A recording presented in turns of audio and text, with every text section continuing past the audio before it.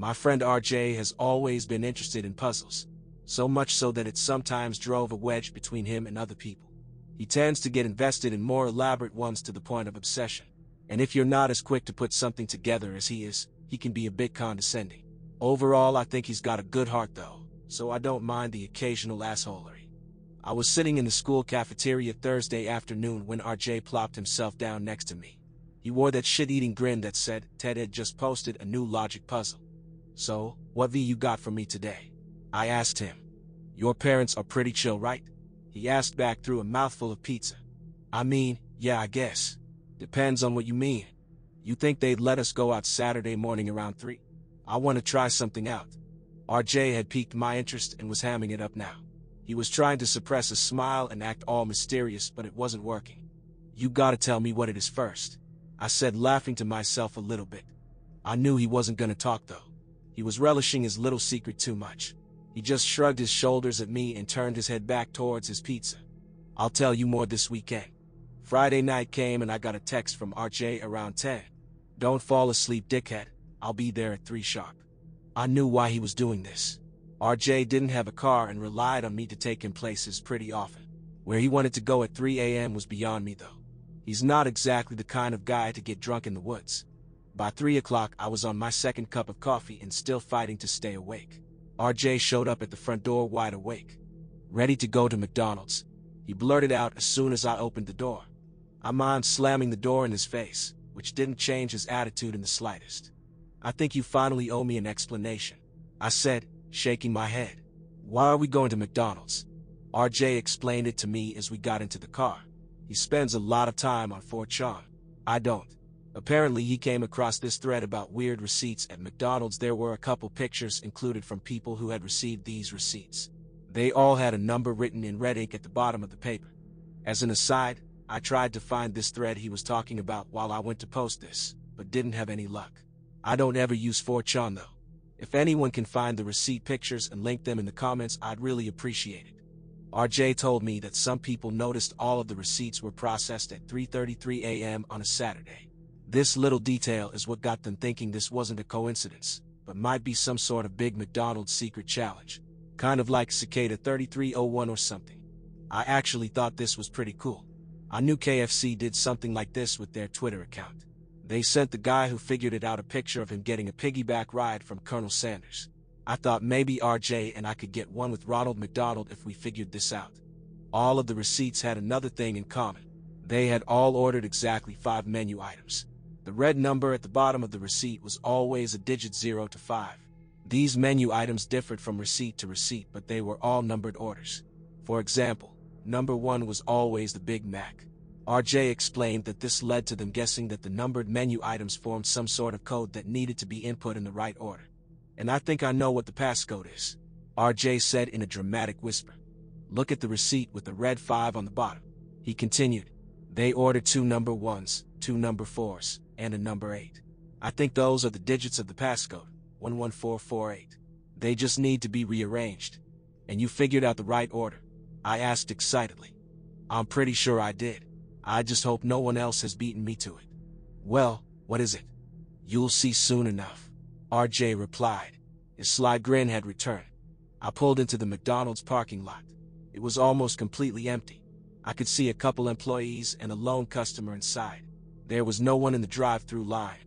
Just pull up to the start of the drive-through and sit there. Don't place an order yet. RJ instructed me. We have to place this order at exactly 333.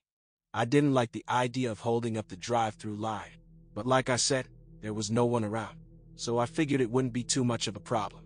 We sat in silence for the next couple minutes. I kept my eye on my mirrors to see if anyone was trying to get into line. RJ kept his eye on his phone, watching every passing minute. At 3.32 he told me to drive up to the speaker.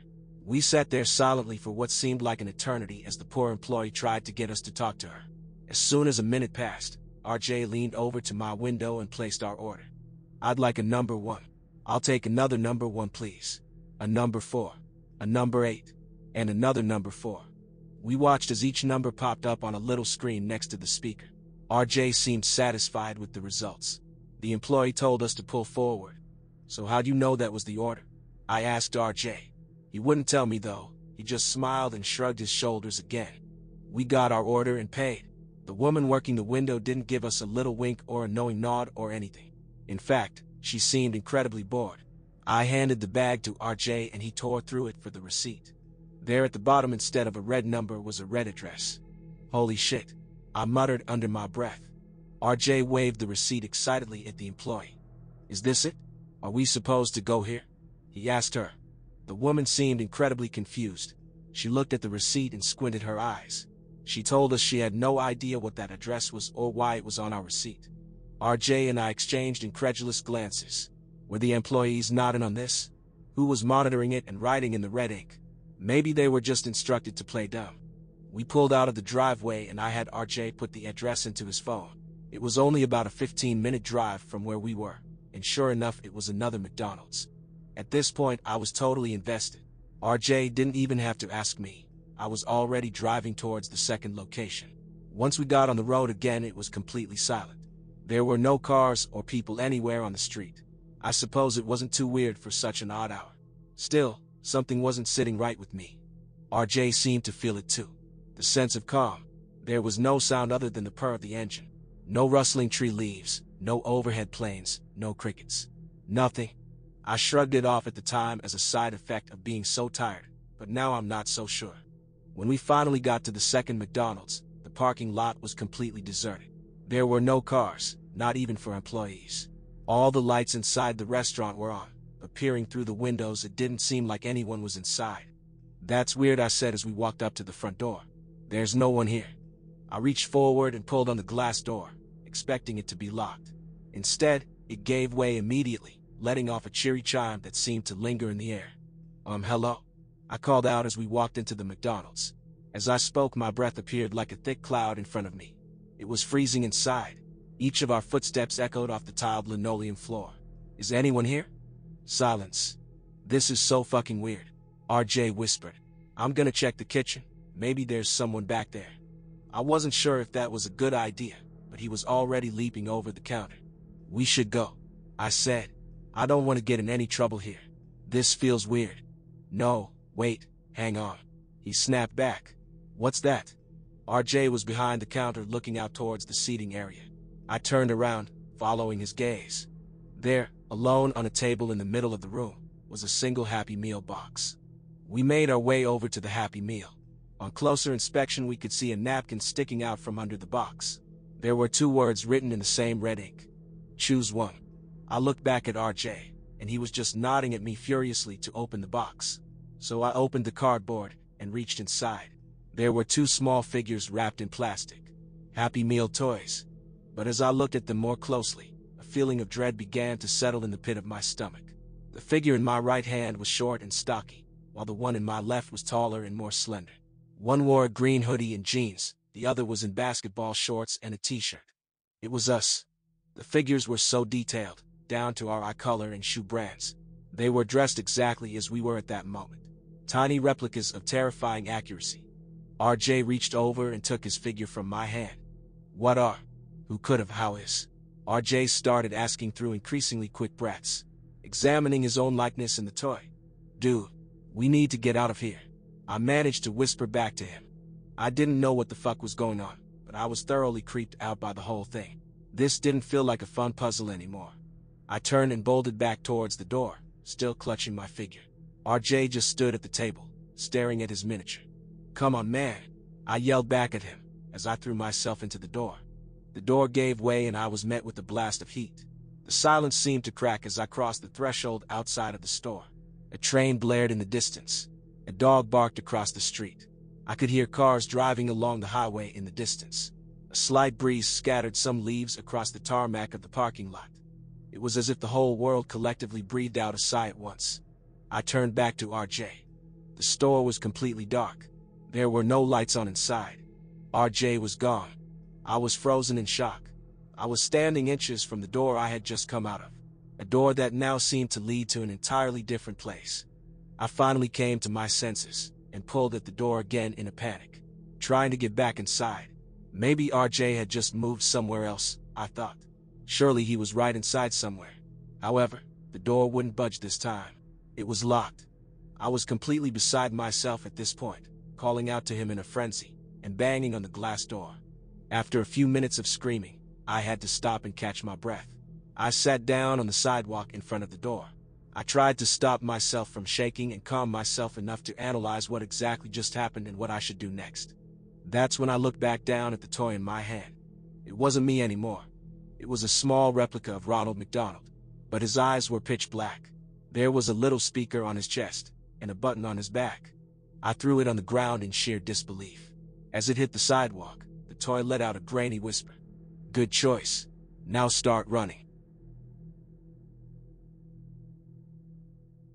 As I pulled up in front of the shop, I had to recheck my directions.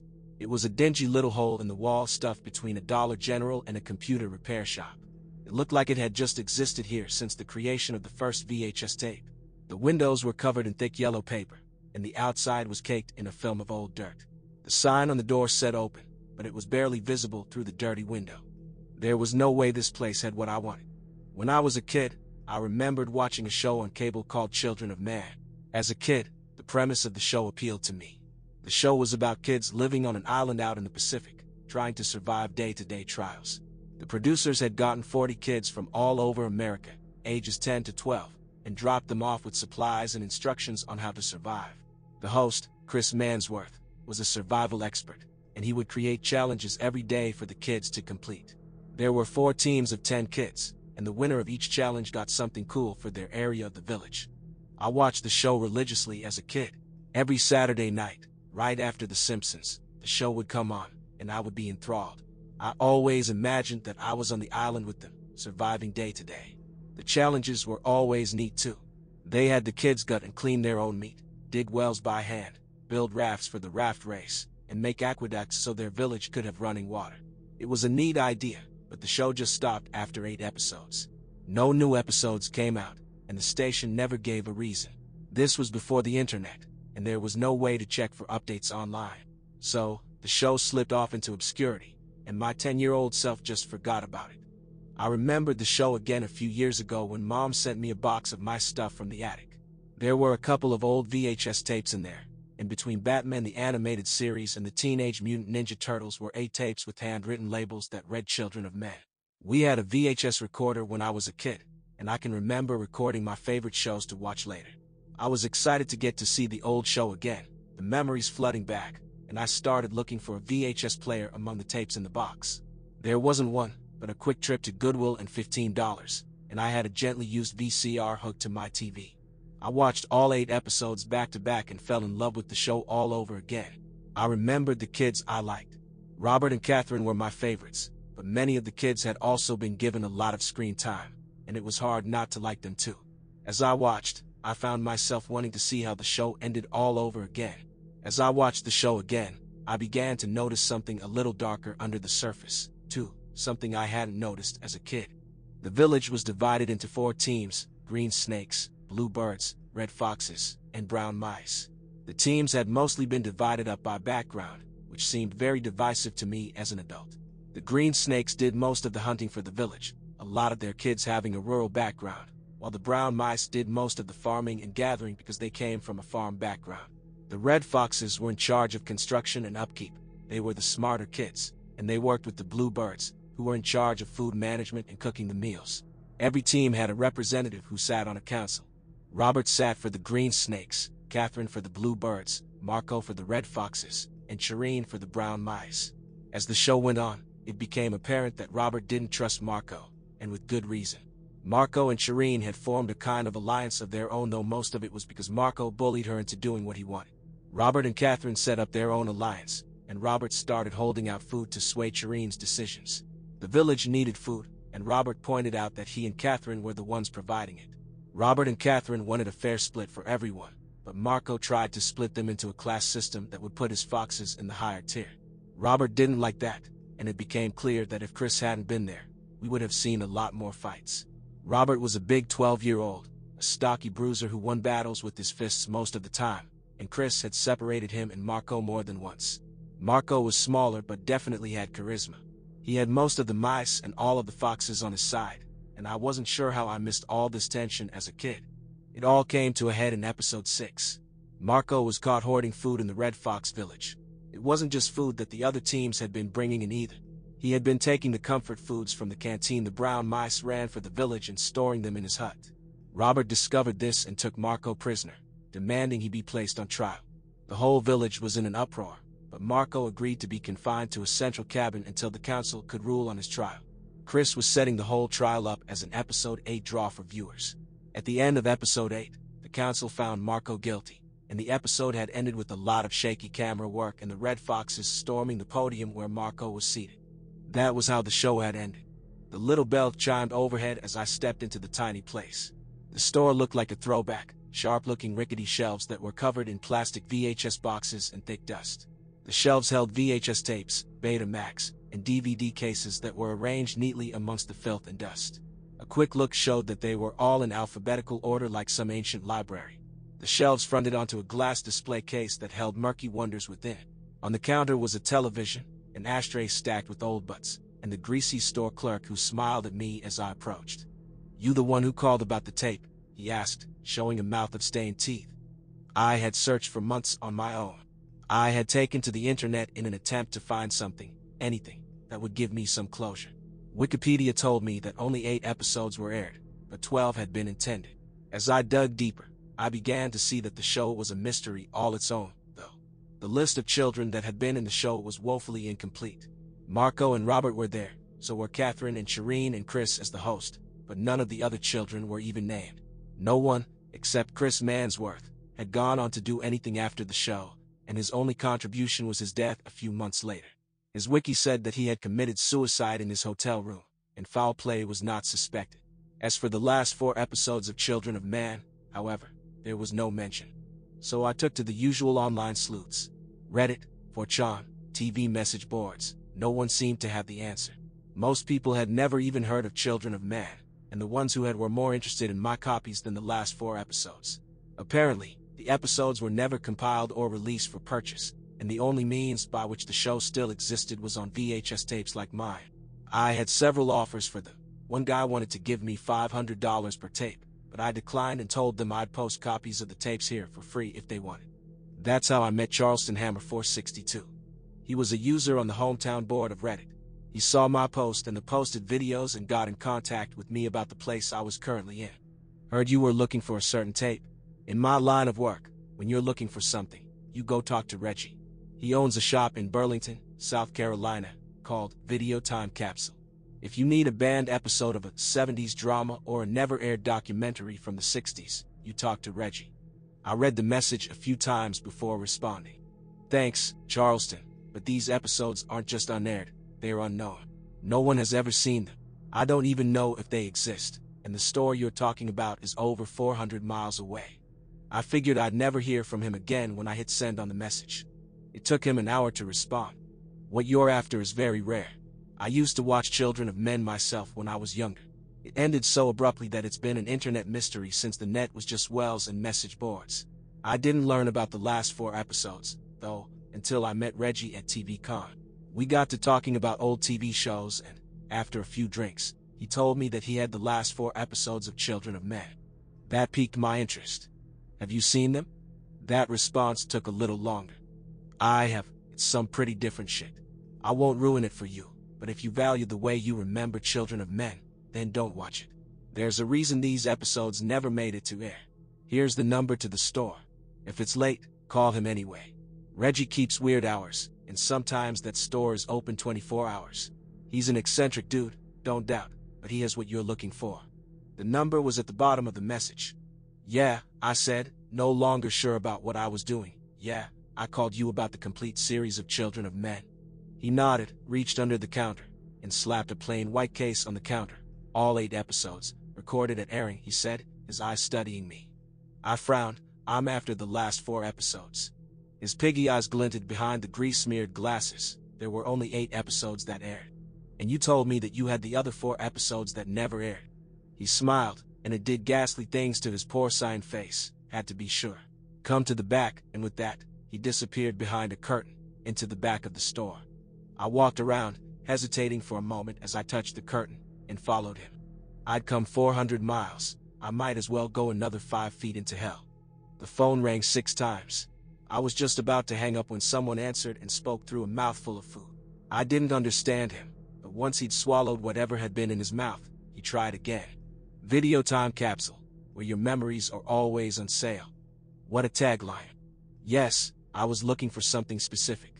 The sound of something being stuffed into the speaker's mouth and loud chewing assaulted my ears before he continued. Aren't they all? What y'all looking for? Clearly, customer service was not their strong suit. Episode 9 to 12 of Children of Men. I heard something hit the floor, and the speaker cursed loudly. Yeah, uh, you must be mistaken. There are only eight episodes of Children of Men. Look, I said a little hotly. I was told that you have things that no one else does. I want to see these episodes. I don't even want to buy them, and I was told that you have them in your possession. Is there any way that I can just... $500, the voice returned, and the tone was not one to be bargained with, in cash before I will even let you see them. I agreed, despite the outrageous price, and now I was here in this grungy shop prepared to go into the back. The back was worse than the front. DVDs and VHS tapes were stacked in teetering piles. The back room was lit by only a few dingy overheads, and I could see an old TV casting its glow from the back. The floor was riddled with trash, and I swear you could hear the mice scampering around to get out of my way. What sort of videos could I find here? Would this place give me anything but heartbreak? This seemed like the setup to a thousand scary stories, and I suddenly didn't want to see these mysterious artifacts. But like anyone else who comes this close to finding the thing they want, I needed to see them. Reggie was waiting for me on the TV. He had an ancient set that looked very similar to the one my parents had owned. On top was a VHS slash DVD combo player and a set of rabbit ears that stuck out like a weather vane. There was a wooden chair in front of it with a little blue pad in it. Reggie held his hand out. 500, he said. How do I know it's authentic? Look, I could get in a lot of trouble for even owning this, okay? You think guys who possess child porn go to prison for a long time. This would put me under prison for life. If you want to see those episodes, then I need the money. Are we doing business here or what? I handed him the money, and he popped the cassette tape in and walked away. Not joining me? I asked. Not for another $500 bucks, kid. I heard the curtain rustle as the show began. Episode 9 gave us a recap of the trial and then the storming of the stage. When the show started, I noticed a distinct lapse in film quality. Whoever was operating the cameras was much shorter than their usual crew, and they seemed barely able to handle the heavy rig. Finally, the camera had Robert into frame and he began to fill us in on what was happening in the village. It's been about three days since Marcos's trial and his escape. Since then, Fox Village has been separated from our village. They took most of the brown mice with them, and now they try to raid us every night for food. Something is going on over there. We heard shouts this morning, and... But at that point, the shouts got louder, and Robert ran off screen as the camera tried to follow him. We came to the edge of Red Fox Village. Many of the huts that were once on the verge have been burnt out, making a kind of barricade between them and the rest of the village. Many voices were cheering as something swung from the tree. At first, I thought it was an effigy, a dummy maybe, but then I realized that it was Shireen. She swung like a grotesque wind chime in the space between the villages, and Robert shouted for Marco to stop being a coward and come out. Some of the kids were crying, but everyone on the other side cheered and shouted, traitor, or faithless, at the swinging body of Shireen. I sat, glued to the TV, unsure if any of this was even real. It was night when the next recording resumed.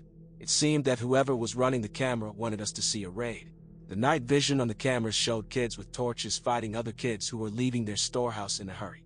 The kids with torches hacked at them with machetes, blood flying as they connected, and some of them dropped as they were stabbed or hacked to pieces by the blades of the other children. The rest of the episode was mostly uneventful. Lots of shaky cam, lots of crying, and at one point, Someone dropped it and didn't pick it up for several minutes. As the episode ended, I was left looking at my own stark face looking back at me. What had I just watched? There was no way that could be the same show. Things had gone very Lord of the Flies in the village, and as the 10th episode started, I wasn't sure what to expect. Episode 10 started without a preamble. There was no recap, no theme music, and the footage looked unedited we see a much more professional camera crew and Chris Mansworth trying to bring some order back to the island. They're coming up through the shallows, Chris and about 10 adults, coming up in the dark towards the village. Chris was talking about how this had gotten out of hand and how they were going to try to rescue the children. As they came into the seemingly empty village, Chris cupped his hands and began to shout at the empty huts. He told them that the game was over and that it was time they went home. He told them there was a boat that would take them home. Still no response. He moved deeper into the collection of straw huts, the fires burning low around them, and that was when they struck. Kids with spears and machetes came screaming out of the darkness, and the cameraman backpedaled furiously as the adults were taken completely by surprise.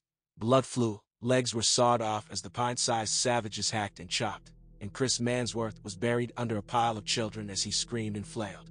As the cameraman tripped and went down, we saw the shadows of children standing over him as the spears came down. The episode ended abruptly. I was speechless. What the hell had happened to them? These were kids that had been doing challenges and making friends. The rivalry between Robert and Marco had always been the most serious part of the show, but now they had devolved into savages. The 11th episode was about 10 minutes long. It opened on a stationary camera shot of the same space they had held the trial. Marco was on his knees before the camera, and he looked bad. His left eye was a puffy mass of bruised tissue. His left ear was a bleeding stump. His nose looked to be cut jaggedly. He was weeping silently, and his tears were thick and bloody. Robert stood behind him. He had always worn a white football jersey in every episode I'd seen him in, but the garment was stained red and brown now. He bled from several places on his chest, and when he raised his machete, it was with obvious pain. This morning, before the sun had risen, this dog attempted to attack our village. He violated the rules of war as agreed up by him and I. We agreed to a battle between our two villages at dawn. This snake tried to attack us in the night and lost. Thus his village is forfeit. As the winner, I sentenced him to death. Please, Robert, Chris Mansworth's voice can be heard off-screen. The show is over. You can all go home now, back to your parents. It doesn't have to end like this. As Marco cried his terrible tears, Robert looked at Chris off-screen and turned back to Marco. The show is over. This is our home now. He brought the machete down. Marco cried out and fell face first to the ground. Robert fell on him, hitting him with the machete again and again. Blood sprayed from the struggling child, and when Robert looked back to the camera, his face was splattered in gore. He reached out, and the camera went off abruptly. The last episode was only a few minutes long. It started with the shaky cam journey through the jungle. The runner was being pursued. I could hear the footsteps behind him.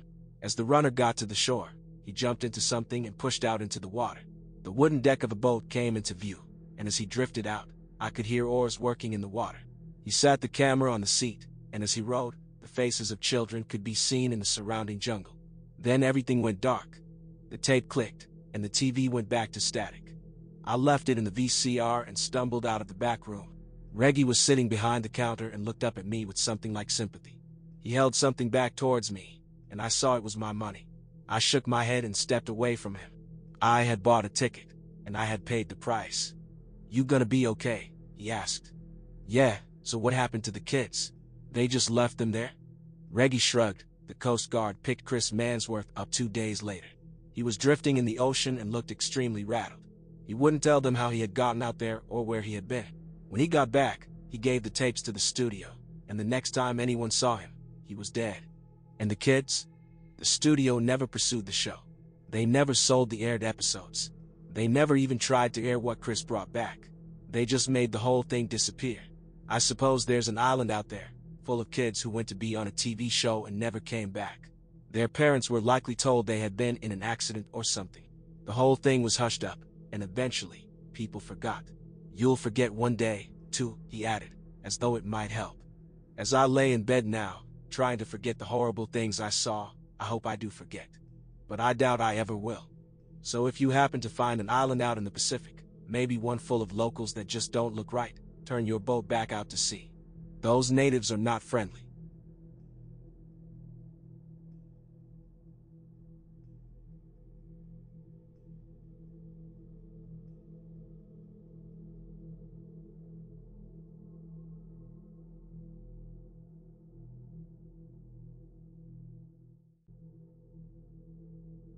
Hi all.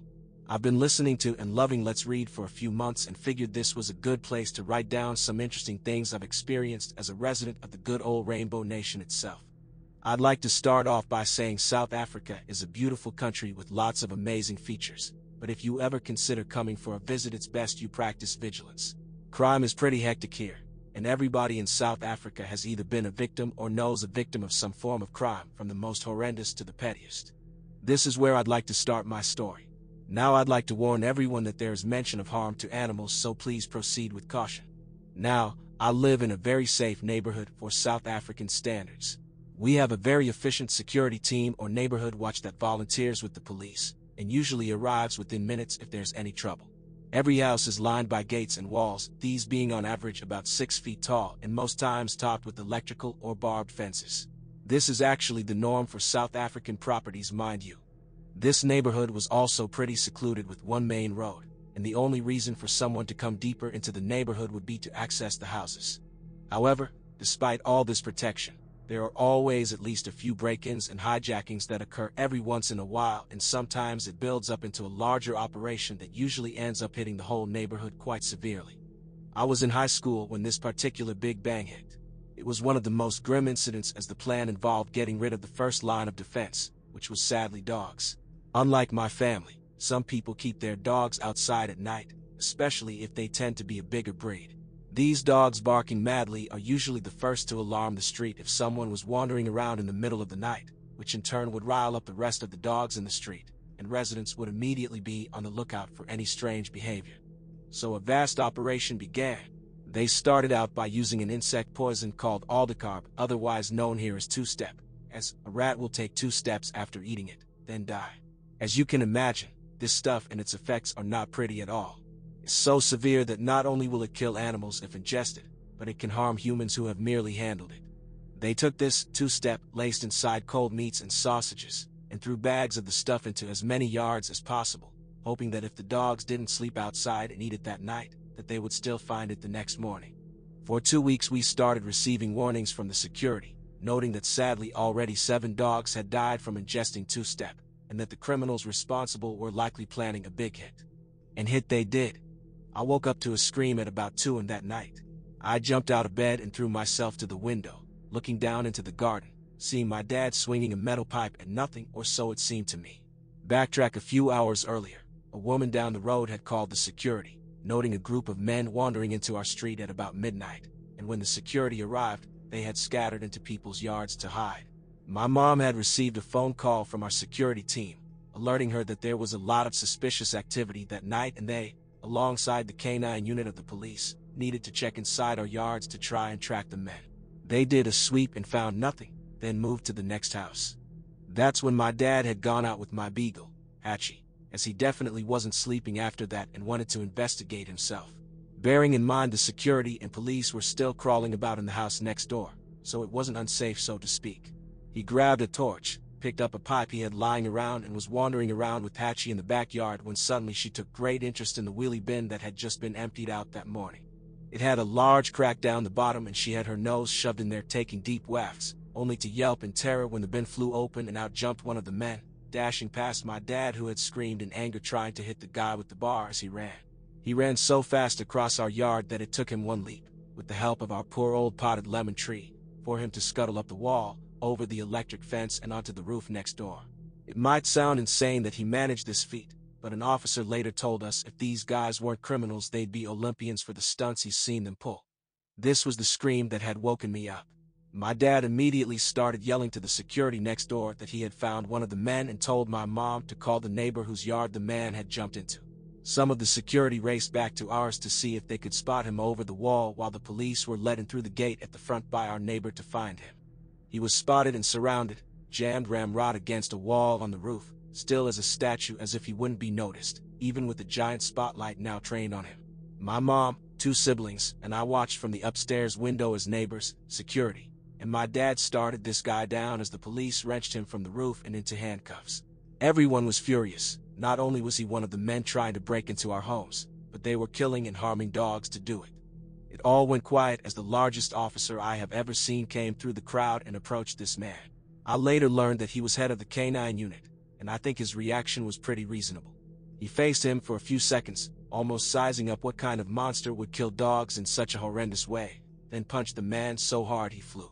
Nobody spoke as they picked him up and took him to the van outside. We were later told the only reason they didn't put him in the back with the dogs was because of the crowd of angry residents that had now formed on the street. Pity. They carted him off, along with the four other men they had caught in other yards. My dad later found a bag of poison next to the pool in our yard, luckily untouched by Hatch, and the police had taken it away wearing heavy-duty gloves.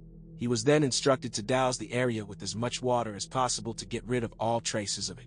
The neighbors whose roof the man had jumped onto had luckily noticed quickly that their dogs had ingested poison and had to take them to the vet to have their stomachs pumped, and they thankfully ended up being okay.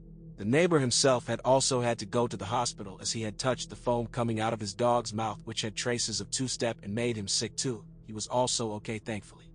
That was all about five years ago, and I'm thankful we haven't had any more severe instances such as that, but I know the men they caught were most likely only the lackeys of a bigger operation, and although we seem to have nipped it in the bud that night, I know that most likely won't be the end of it.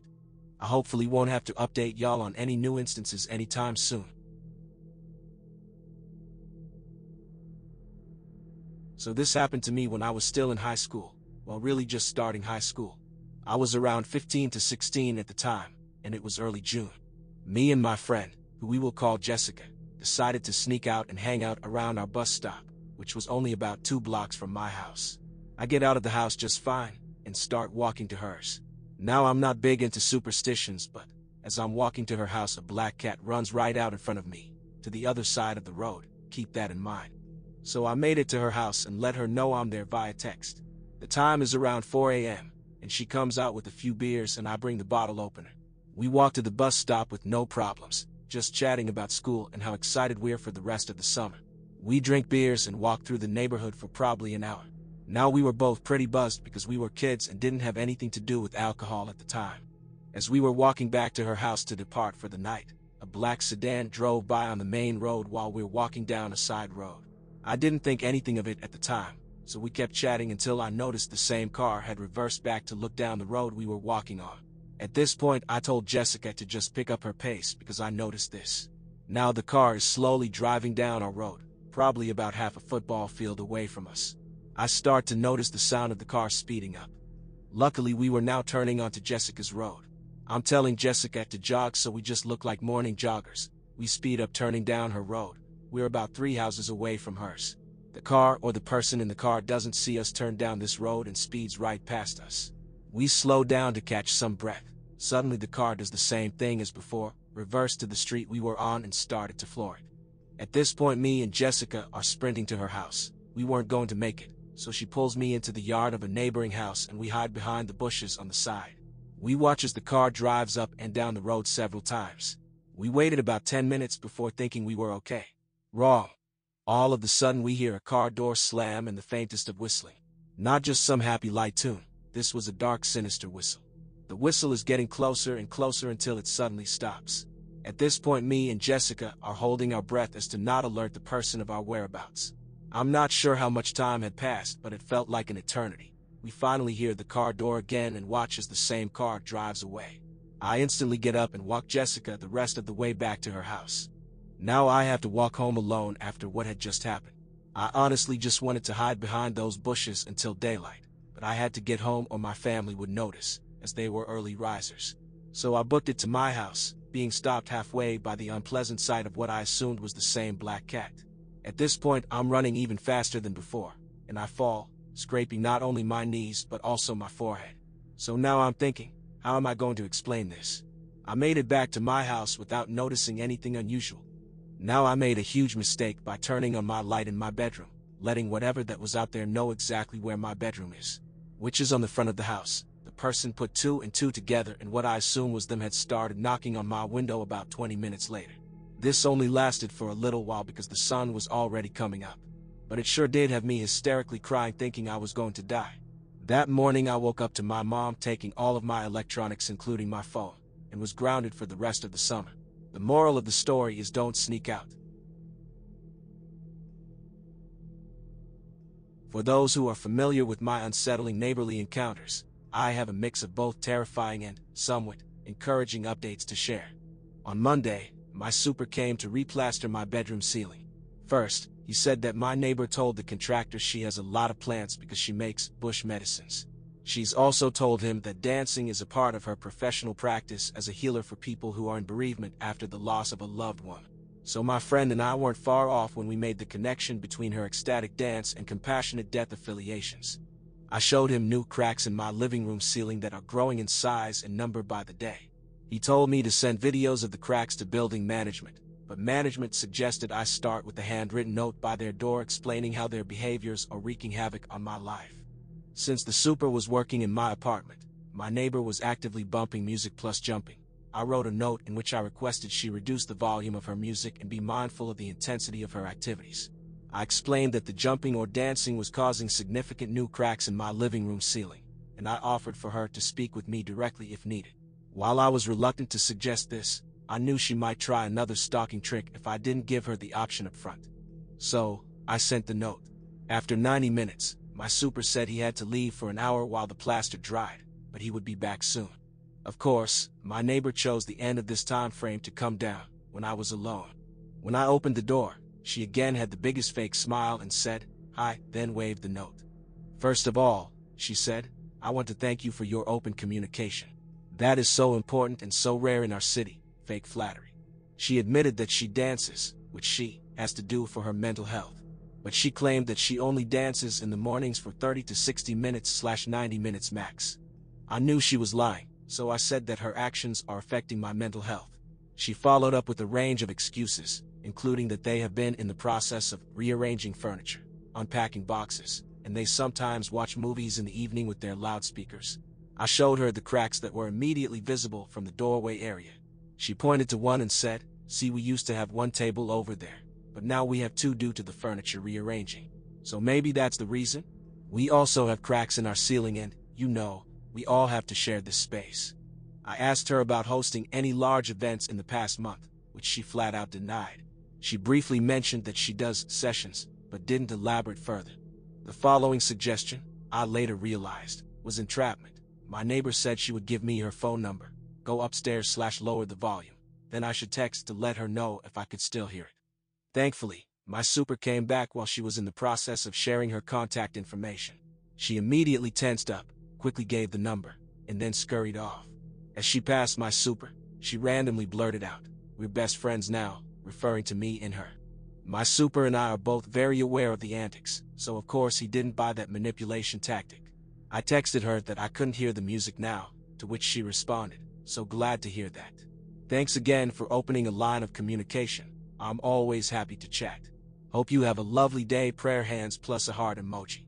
In retrospect, I think she wasn't playing the music at all. I also felt like our conversation was riddled with gaslighting, misdirection, and flat-out lies. I was somewhat confused, but I know what I've been experiencing and have plenty of evidence to prove it. Within hours of our conversation, my neighbors started up the loud music plus dancing as if nothing happened. I was furious. I took new audio recordings and immediately emailed building management with my new evidence, footage of the ceiling cracks, along with the photo of my note. I explained that my neighbor was kind, though somewhat misleading, and expressed interest in accommodating my requests. I also said her behaviors were continuing as normal despite the false claims that she would take my experiences into account. The building manager said to keep her updated, but it was clear she assumed the situation would be resolved on its own. Nope. My neighbor continued with the incessant bass-heavy music plus jumping shenanigans the next day and the day after. I continued to document everything. On Wednesday evening, I went out for a quick errand and again was a victim of the stalking tricks. She ran into me as I was entering the building, waited until I passed her on the stairwell, and then spoke up.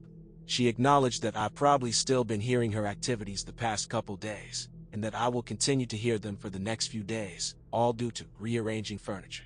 She said the coffee table had been sold that day, not true. I was working in my living room all day and would have heard such a commotion in the stairwell. I said yes, I've been hearing her loud and clear. Shortly after this in-person encounter, my neighbor went on to host a party. I heard people in the stairwell who seemed unfamiliar with whose apartment they were even visiting, and one guest introduced herself as a friend of someone else. While the music was much lower, the group began running back and forth overhead. Hearing these strange activities without the music was somewhat creepier than with the music. I took more recordings, then retreated to my bedroom. But of course, the group decided to migrate to their patio, right above my head again. By 10.30 p.m., I had enough. They were no longer dancing, but the group's chatter along with ethereal music, a female soprano singing vocalizations, was too much. I sent her a text. I explained that I understand she has every right to host guests in her space, but I was perturbed by the way she'd said to my face that any excess noise I might hear in the coming days was from rearranging furniture. I said I could hear music and conversations very clearly, as the noise filters through my AC unit. I also said to please let me know if they will be hosting events in the future so I'm not caught off guard. While my neighbor didn't respond that night, within minutes of my sending the message, the group began to sing the Happy Birthday song in the most somber way I've ever heard it sung. I was able to record the second half of it. They sang in a monotone, and there was no clapping, cheering, or any standard signs of merriment that occur after singing the song. The following afternoon, my neighbor sent me a wall of text, in which she continued to lie. She said that the gathering was very small, only four friends, so it didn't even cross her mind to let me know when she saw me earlier. She also said it was the first time they had hosted more than two people over this entire year. I honestly had to laugh at that. She said when she first saw my text, they lowered the music volume and told the friends to quiet down. So, she admitted that she saw my message, but made no mention of any birthday affair. As for the furniture rearranging, she explained that it's been part of a longer-term project, smiley face, and added more lies like how they had just received a dining table and bookshelf they'd been waiting on for eight months. Not only would I have seen such large packages in the stairwell, but also why share so much irrelevant information if being truthful. Finally, my neighbors said that they will be hosting two more events next week, another small gathering of four friends next Wednesday in honor of her partner's birthday and a larger gathering on Friday, again for his birthday. Like I said, she made no mention of singing happy birthday the night before. Who would host three birthday parties over two weeks? It was all false. She followed up five minutes later with the second text that explained she was late to respond because she's been in back-to-back sessions. So, I finally had written evidence of her talking about these sessions. I didn't respond to the text. I refused to engage her or her partner any further. They continued to play music and stomp around that evening, but I had my BF and a friend over who heard everything and validated me that all of this is absolutely maddening. On Friday, I finally called my building manager to explain everything. She needed to understand that something very strange and potentially dangerous is going on above me. Thankfully, I finally believed it. It turns out my building had no idea that she was running some form of a business and hosting group events. I thought they at least had a vague awareness. The building manager said they would get the attorney involved ASAP to review their lease contract and pursue action. She asked for all my evidence, including written communications, a personal written account of verbal communications, audio recordings, and footage of ceiling damage, I've been taking videos of the ceiling cracks over the past few weeks to demonstrate how quickly they're grown. I made a Google folder that divided each category, dated every piece of evidence, and sent. I was so relieved. It felt like some form of action was finally in motion. I assumed the building attorney was working on a case against them over the weekend, so I ignored their relentless music plus jumping. But today, Sunday, my neighbors have been hosting yet another gathering since 11.30 a.m. I've been hearing heavy bass, sporadic jumping, and chatting on their patio for 7.5 hours now. While I've continued to collect my evidence, I decided to wait until tomorrow to check in with management. Around 5 p.m., I was quietly sitting on my couch when out of nowhere I heard the door open from above, someone jogged down, and then pounded on my front door. I didn't move a muscle. The person on the other side waited for about a minute. I thought I heard keys jingling, and then they slowly retreated back upstairs and shut the door again. Honestly, I have no idea what's going on now. The music plus jumping increased after the knocking incident. Maybe they were testing if I was home, but I'm rattled by how I'm feeling when I'm minding my own business. At the same time, I want to keep laying low to protect myself. I still have very little information about this group. They are clearly escalating, three events planned within one week, despite added pressure from everyone around them.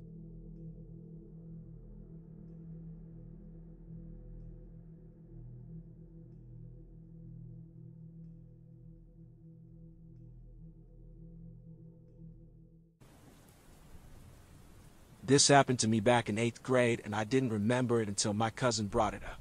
We went down to a beach for my aunt and uncle's anniversary. My cousin was more than happy to invite me along with him and I was more than happy for a week at the beach. But as luck would have it, my aunt and uncle's anniversary turns out to be in the middle of February, so I realized that we decided to bring our Xboxes. We made it to our hotel safely and due to some booking issues they sent us to a sister hotel they had. Now I say hotel, but it was really a motel in a kind of crummy part of town. We got there to drop off our bags and settle in when we were on the third floor. We're there for no less than an hour when we get a knock on the door. My uncle checks the peephole and opens the door, and it's our first official interaction with the crazy neighbor. At first she seemed nice, a little pissed but nice. She politely asked if we could keep the noise down so we obliged and closed the door. I understood where she was coming from. It was late at night after all, the rest of the night was normal. I crashed very quickly. I woke up to my aunt making breakfast.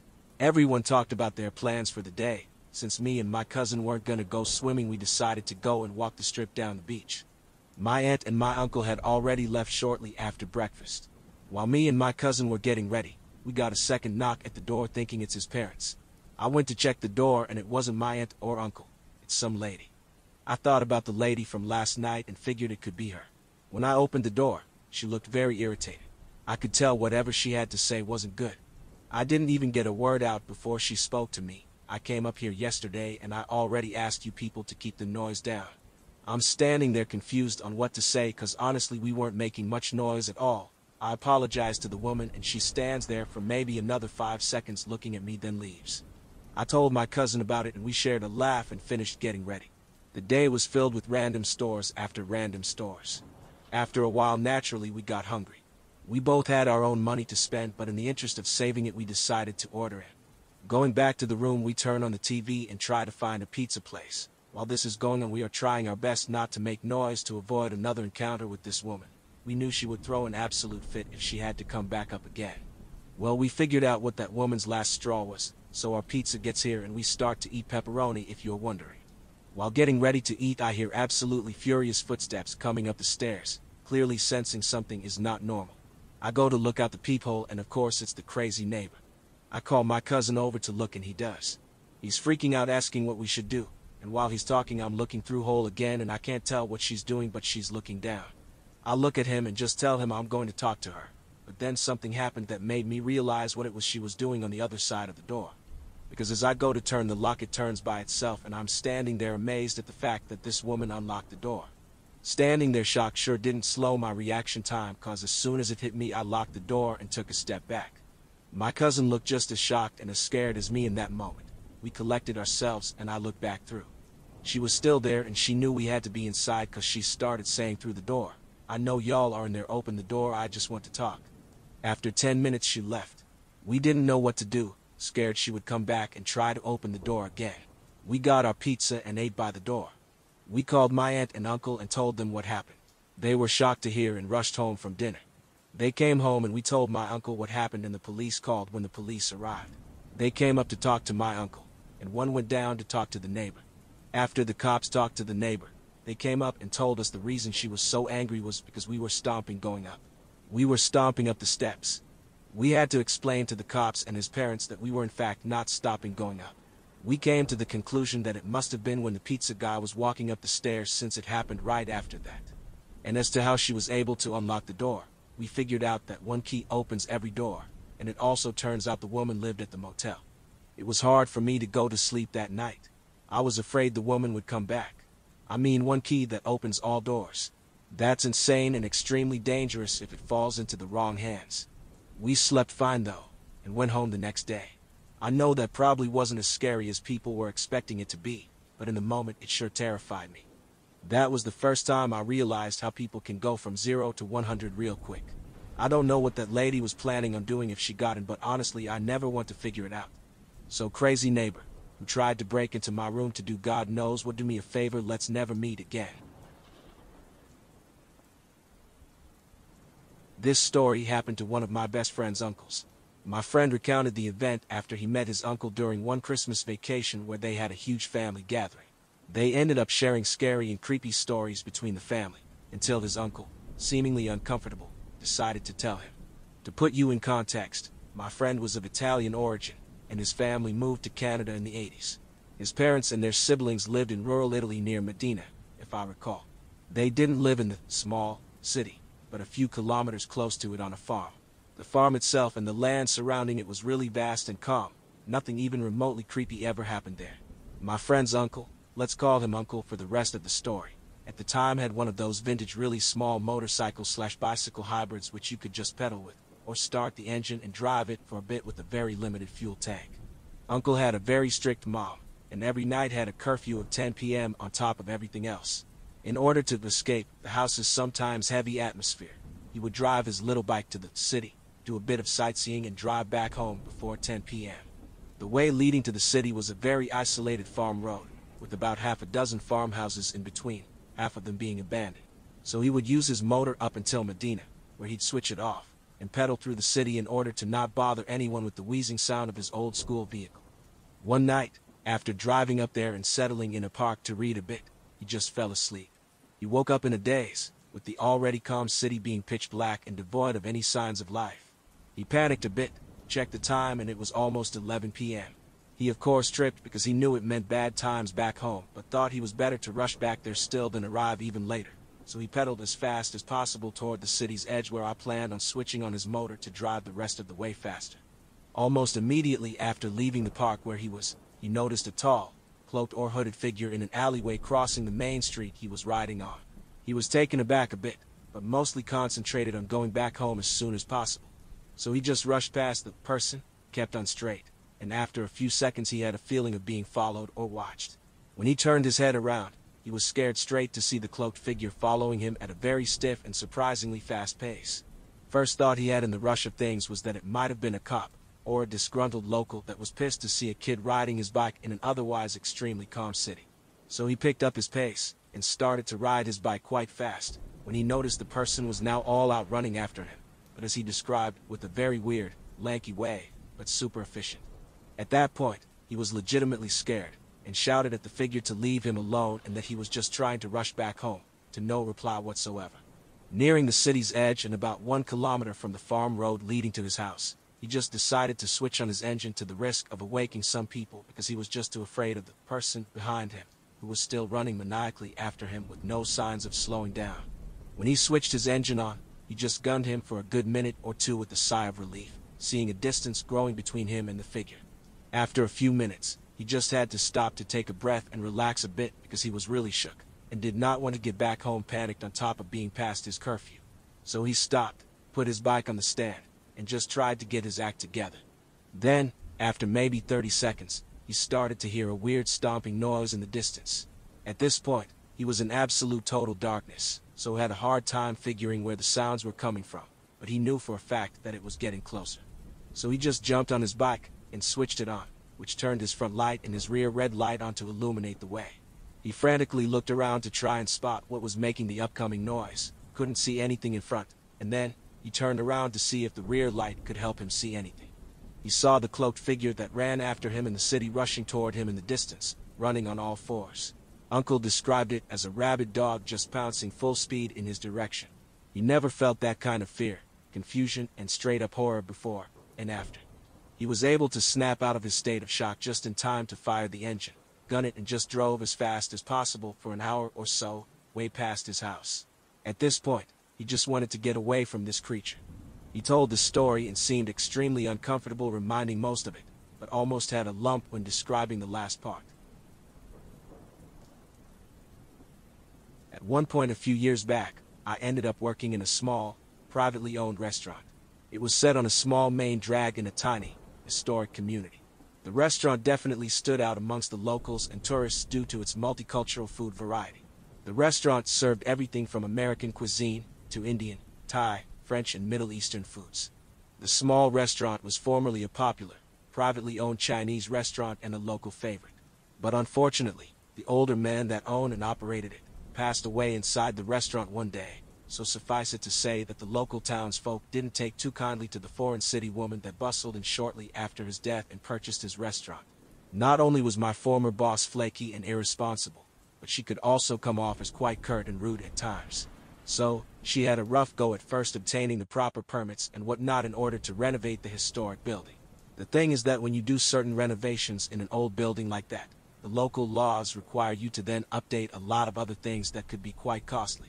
So that meant that she decided to just use the staff that she'd hired, which was us, to help her with most of the renovation work. Everything was going pretty smooth, you know, nothing out of the ordinary. That is until one overcast, drizzly day when we were all gathered in the dining area for a staff meeting. As we all sat there quietly, listening to the boss lady, something a little strange happened. The front entrance door to the restaurant suddenly opened about halfway and then carefully closed after a second, as though someone had simply stepped in. Of course, there was no one there as the door was almost entirely glass and we would have seen a person on the other side. We all looked at one another confused, but we just chopped it up to be the breeze since the back door was open, though there was a set of closed kitchen doors in between. The second odd thing to happen happened to another employee when she was there alone one night. According to her, just after she turned a corner passing a shelf with some tools on it. An empty cordless drill case went flying past her head. It barely missed her and smashed into the wall in front of her. She definitely seemed pretty put off when she told us about it in the kitchen the next day. Following that, random small things would happen here and there. Like, our boss would ask us once in a while why one of us didn't come into her office when she'd see one of us walk by her open door, but we were usually puzzled by that, as none of us had ever even walked past her office during that time. Besides that, we get the occasional strange sound, like a faint voice or a door opening or closing. Also, when I'd be in the kitchen putting together some ingredients for a recipe and I'd have to walk away for a second to go grab another ingredient off the back shelf or something. But when I'd return less than 15 seconds later, one of the ingredients I'd set out prior to leaving the area would be gone. I'd end up having to measure out and prepare the same ingredient again, annoyed. But I had no idea that it was about to get a lot more terrifying for me. The final thing to happen to me and my other coworkers was the worst experience I ever had that was paranormal hands down. But, in order to properly explain this part to you, I'm going to need to explain a couple of things about restaurant kitchens to you. In a typical restaurant kitchen setup, you have a cook line and the cook line is literally that. A line is in a skinny walking or standing space typically between the oven, fryers, and cooktop with the prep surfaces and small fridges on the opposite side, leaving about a 3 to 4 foot walking aisle forming a cook line. Besides that, there's a dishwasher outside of that line, followed by the rest of what you'd expect to find in a restaurant kitchen. You know, like fridges and freezers all on a large scale. You also got your giant hood fans above the cook area and a hot water heater. The reason why I point all those out is because together, they all constantly make noise. Think like loud or ambient background noise constantly. So one day, there were three of us working in the kitchen. Me, my boss, and another employee on the dishwasher. My boss and I were on the cook line, while the dishwasher was a few feet away from the cook line. We were all three working as normal, when all of a sudden, it got quiet. Think of when you don't realize you've been hearing a constant low sound until it suddenly stops and then you notice the sudden change in the noise environment. Except for I mean it absolutely got dead silent. Almost like an invisible soundproof blanket got thrown over the three of us. As soon as I noticed it, I looked around at the other two and they also looked puzzled. What the hell? I questioned out loud. Why is it so freaking quiet all of a sudden? Asked the dishwasher guy, suspiciously. I don't know, my boss replied, drawing out her words nervously. She turned to face me, as I was standing directly behind her on the narrow cook line. Nora, go make sure that the fridges and hood fans are still running. Maybe the power is out. So I ventured the 10 or so feet to outside the cook line area and weirdly enough, I could hear the hood fans and even the dishwasher hot water heater and all the fridges and freezers running like normal. I went back to my boss and with a confused look, told her everything is working fine. That was the first creepy part of that. But when I stepped back onto the cook line to tell my boss, all was silent again. Well, Nora, get back to work grilling those peppers. She snapped. So I got back onto the cook line beside her. After a couple of minutes, though, I suddenly started to get tunnel vision and I felt really dizzy and nauseous. I told my boss, and she told me to go sit out back for a few minutes and get some fresh air, which I promptly did. As I was sitting outside trying to feel better, I could see my boss go into her office, which was a kitty corner from the back door. Since the back door was open with just the screen door closed, I was able to hear her while she made a phone call. She sounded urgent and shaky as she asked the person on the other end of the line to please bring in an abalone shell, some sage, and some kind of weird oil. Now, the reason she needed those particular items was because according to her, she had felt something walk through her on the cook line that wasn't good. The shitty part is that I was standing right behind her, inches away on that cook line. I waited for her to finish her phone call and return to the cook line before I went back in. By the time I got back in, everything sounded normal again on the cook line. When I got off my shift about an hour later, believe me when I say that I made the normally 45 minute drive home in just under 30 minutes. All night that night, I tossed and turned, unable to really sleep. But, the few times I managed to slip into sleep, I kid you not, I got jolted right back awake because I would see a screaming demon-like thing right in my face. Just as some background, the place where this happened has a crime rate 1.3 times higher than the U.S. average, including a heightened amount of violent crimes, and is known for human trafficking. I won't go into too much detail here as to how I ended up in this city. However, I wanted to shed some light on how dangerous living in this area can be before I dive into my experience. Also, for clarification, I am a woman. When I was 19, I had a very bad smoking habit. The smell of cigarettes makes me feel sick now, but back then, my camel blues were something I couldn't do without. At the time, I was living in what I will loosely refer to as a group home for anonymity's sake, located in a neighborhood just a few blocks from a little corner convenience store. I would often frequent this store as that was the closest place to pick up a pack of smokes. Usually, when I went to pick up more cigarettes, a few of the other young women from the group home would come with us, as we were all friends and enjoyed each other's company. The afternoon of this experience, I asked my friend Amber to tag along, even though she didn't smoke. She agreed and together we made the 10-minute walk to the corner store. I purchased my pack of smokes without issue, and Amber and I started our walk back. As usual, the streets were pretty much deserted, and we didn't see any pedestrians or cars on the way. Every moment of this brief interaction comes back to me with perfect clarity, despite five years having passed since we experienced this. Amber and I had turned off, walking down a deserted side street, parallel to a closed-down Safeway, blocking us from view from any of the houses in our neighborhood. When we reached the corner, about to cross, a car drove up with two men inside, both staring at us. Locking eyes with the man on the passenger side of the car, I knew something wasn't right. As every woman has, I had previous experiences with old creepy men before, so I shook it off and kept walking. Turning the corner, the driver of the car stopped, putting the vehicle into park not ten feet away, leaving it in the middle of the road. Amber and I both froze as we saw the two men exit the car, the engine still idling, and both car doors left wide open.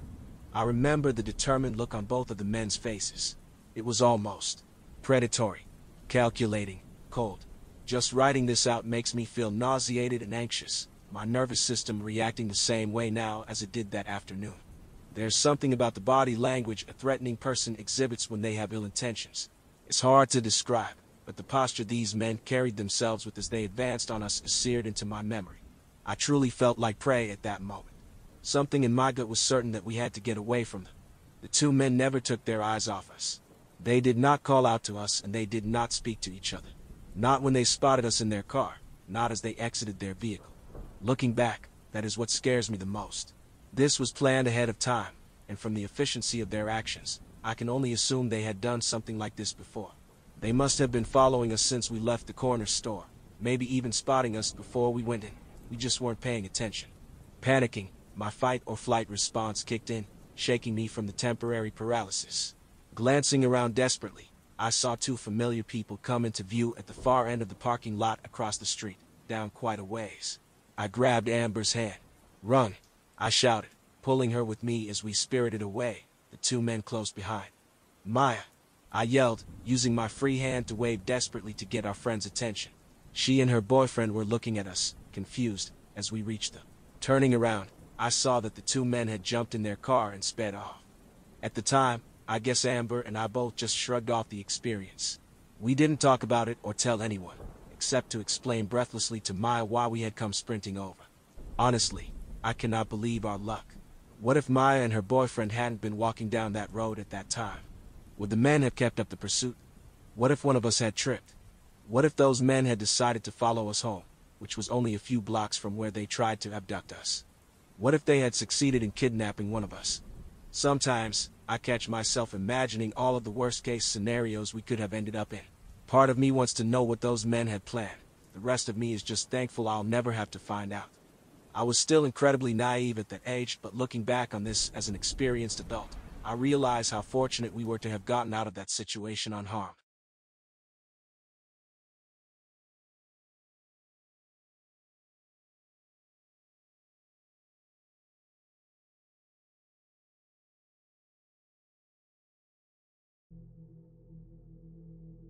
Hello all.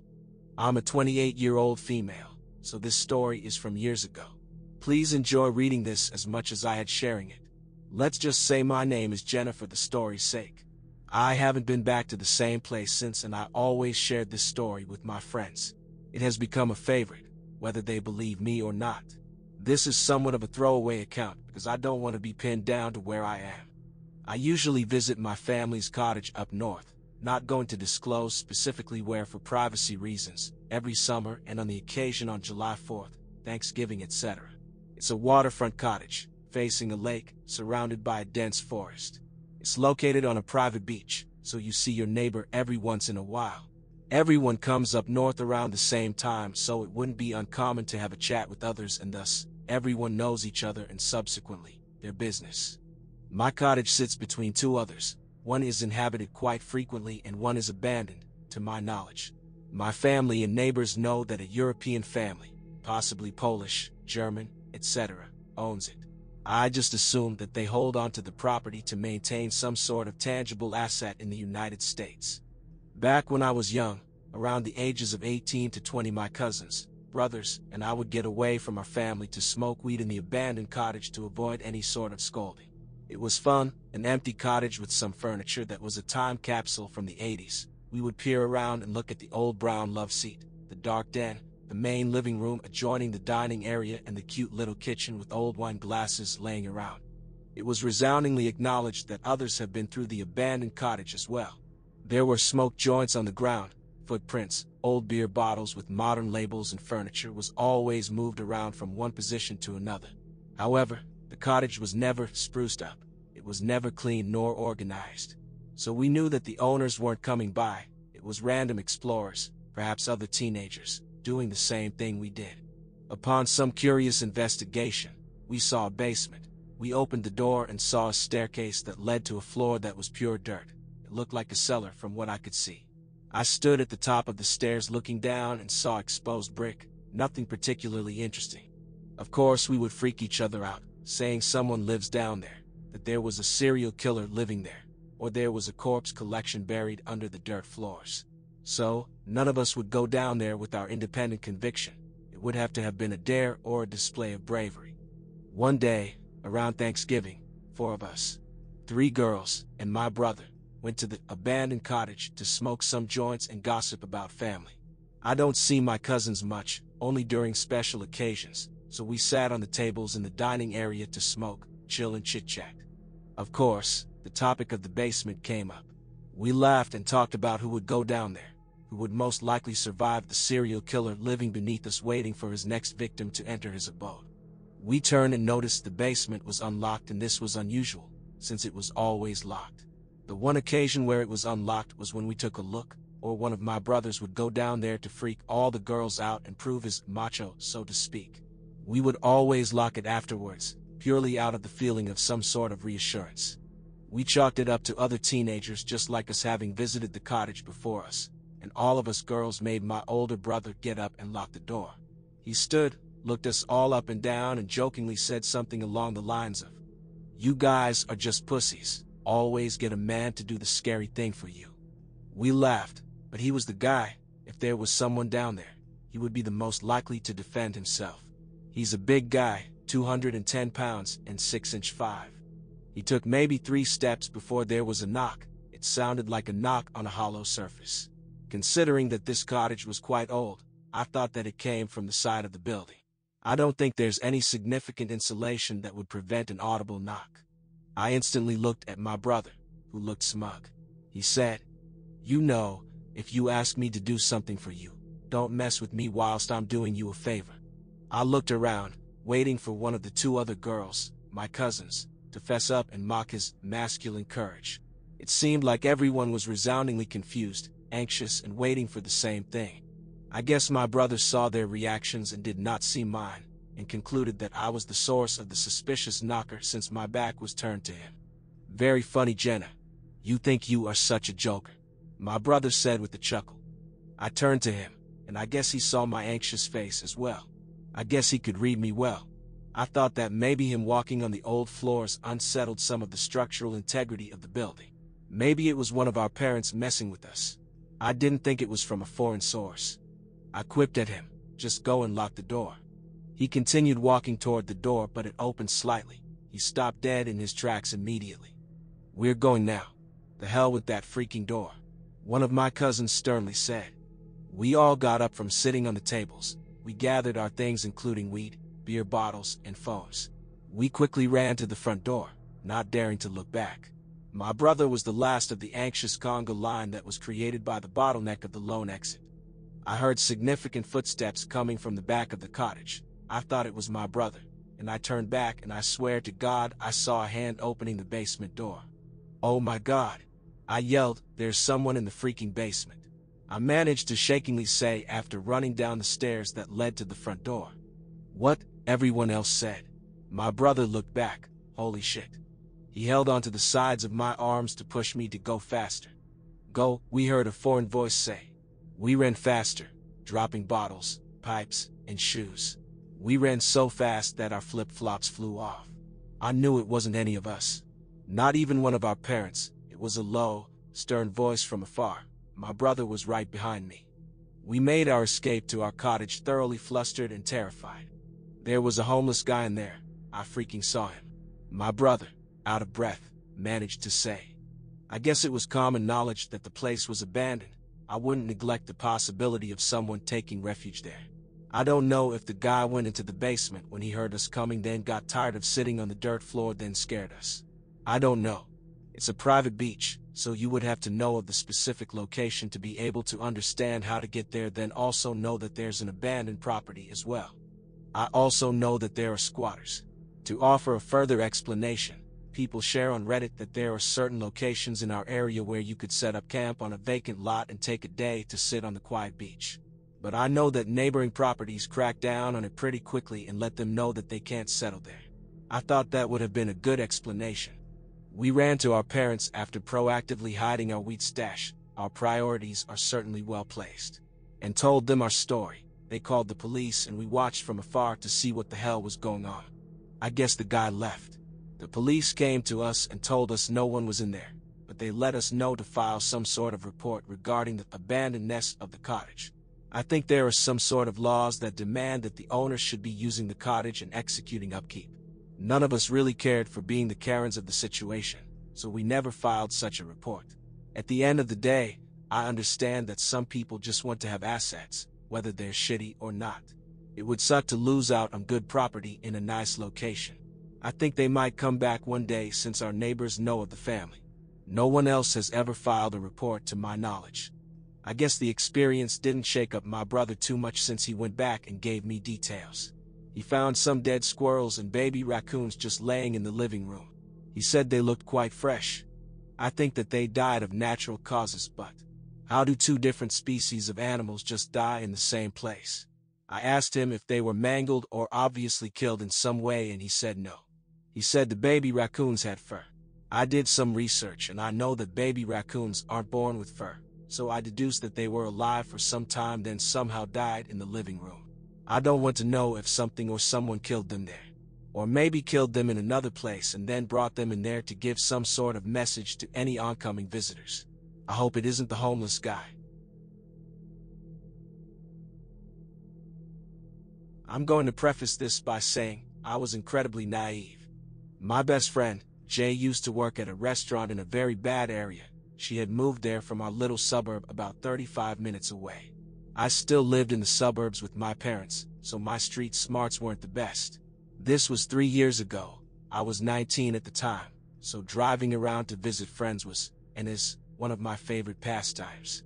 One day, I decided to stop by the restaurant to see Jay, as I'd done it a few times before and I was friends with all her coworkers.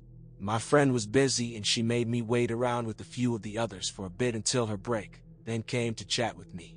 At this time, I was very anti-purse and just kept a wristlet, a little wallet you can keep around your wrist. After chatting for about 30 minutes, I left the restaurant and walked back to my car.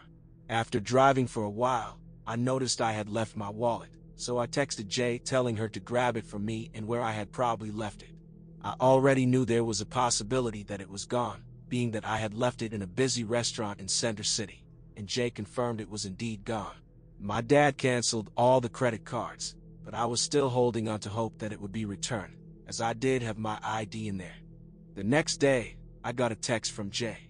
She tells me someone called the restaurant and said they had my wallet, and that she had given them my number. I was really happy about this, but knew I would have to meet up with the stranger, so I decided not to tell my parents. I didn't get a text until the next morning. The person said that they had my wallet and wanted to give it back, but never have a name or description. I didn't care. I thanked them profusely and asked when I could meet them. Hours later, they replied with an address and told me to stop by around 9 p.m.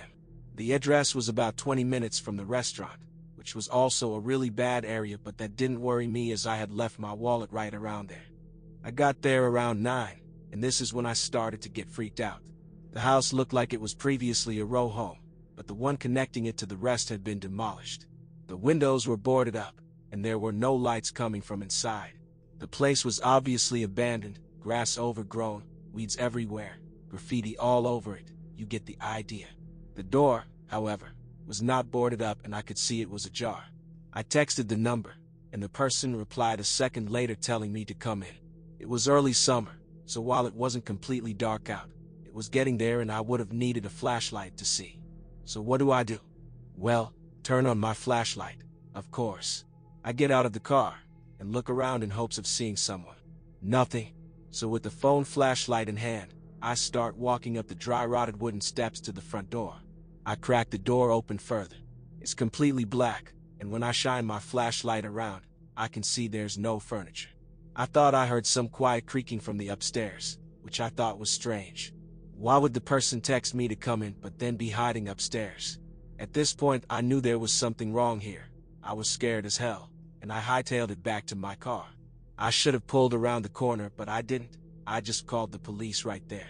Two policemen arrived shortly after, and walk right into the house with flashlights.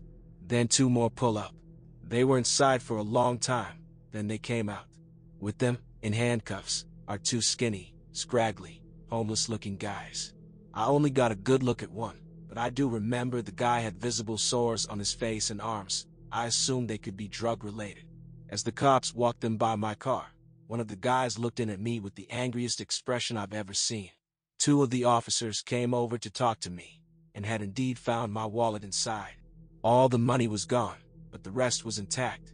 The cops reprimanded me for being so stupid. I drove home and never spoke of it to my parents. Only recently have I told them what happened. I'll never know what those guys were planning. Was it just someone messing with me? And I called the cops on two random homeless guys living there? I never got another text from that number. I started carrying a purse after that. Gross creepy abandoned house men. Let's never meet again. Ever.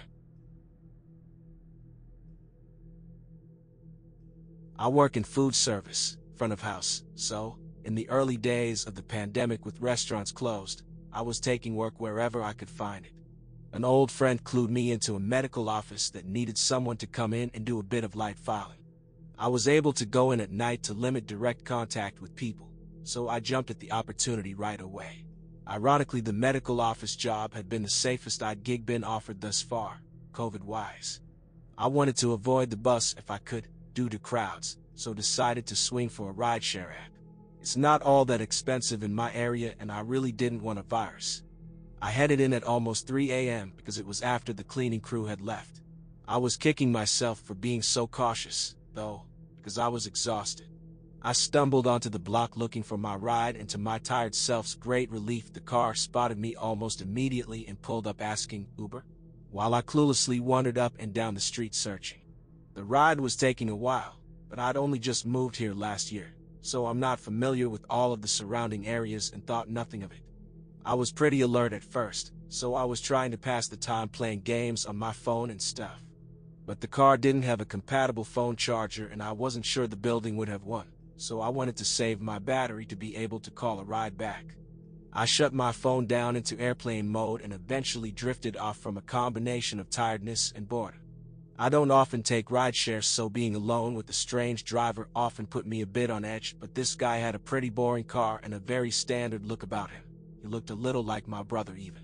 Young, clean kept, listening to jazz, nothing that screamed, you need to micromanage this trip. When we arrived, the driver tried to wake me up by calling to me from the front, but I was in too deep of a sleep and couldn't fully distinguish it from my dream.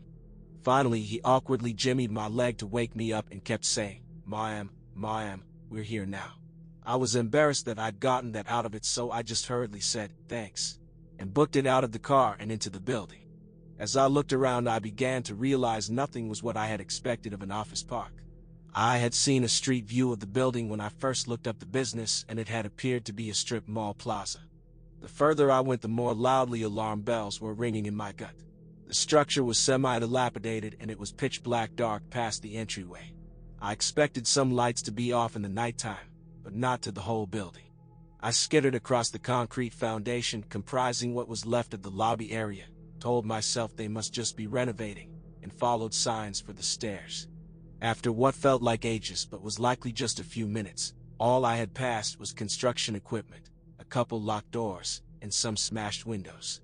I was certain I was not going to find a medical office and figured maybe I had mixed up the address. I took out my phone to double check, but once I got it out of airplane mode, I could barely get a signal. I kept moving around in the building, pacing, looking for a stronger signal. I eventually confirmed in my text that I had written down the correct address just by scrolling back, which didn't require service. Since I had only been inside for a few minutes at most, I figured I should try and get in touch with the driver because if I entered the correct address then it was only fair he should continue my ride to the correct place and save me the added fees of calling a second trip, considering this was all his mix-up. The app was taking forever to load with my slow service, but before I could get to a cloud of reception, I heard a rustling sound in the lower level of the building. I was on the top floor and the only stairwell I was aware of was the one I had taken up, so it would force me into the middle of the building. There was no way to exit the situation without encountering whoever was downstairs. In an abandoned building in the latest hours of the night, I figured the chances were high that it was a tweaker, and I had no desire to try slipping past a tweaker, especially when it was late enough that they were probably on something, so jumpy and on edge. I tried to get a text out to a group of friends with my address and a request to call 911 to help get me from the property because I didn't feel safe walking in that neighborhood at night and didn't have enough reception to call a new ride but the message wasn't sent. Reception was too weak. So I gave up on getting my phone going and started checking for another stairwell, or even a window with balconies or dumpsters that could be used to exit the second floor as a last resort, in the event whoever was downstairs came upstairs. I scrambled over to a door with a stairs sign on it, but the stairs were completely dilapidated and it was essentially just a straight drop down to the first floor. At that point, the worst case scenario began to unfold. I heard whoever was downstairs begin making their way up the stairs.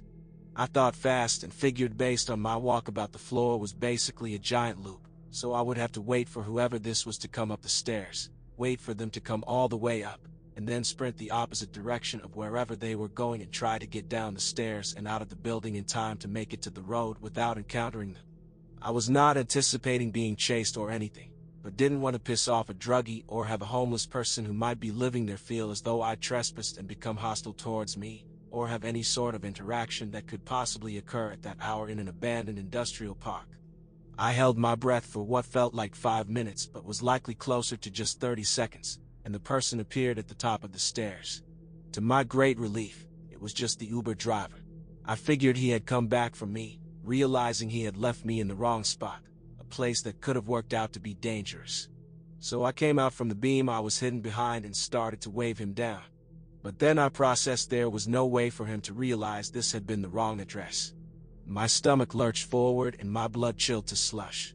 I made eye contact with him very briefly and he was completely calm and composed, but breathing pretty heavily and blocking the stairwell down.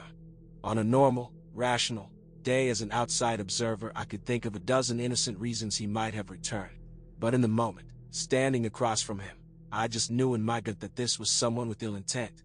I can't remember much more from the ensuing few minutes. Operating solely on muscle memory and instinct, I Superman dove for the second stairwell's opening and just let myself fall down the drop.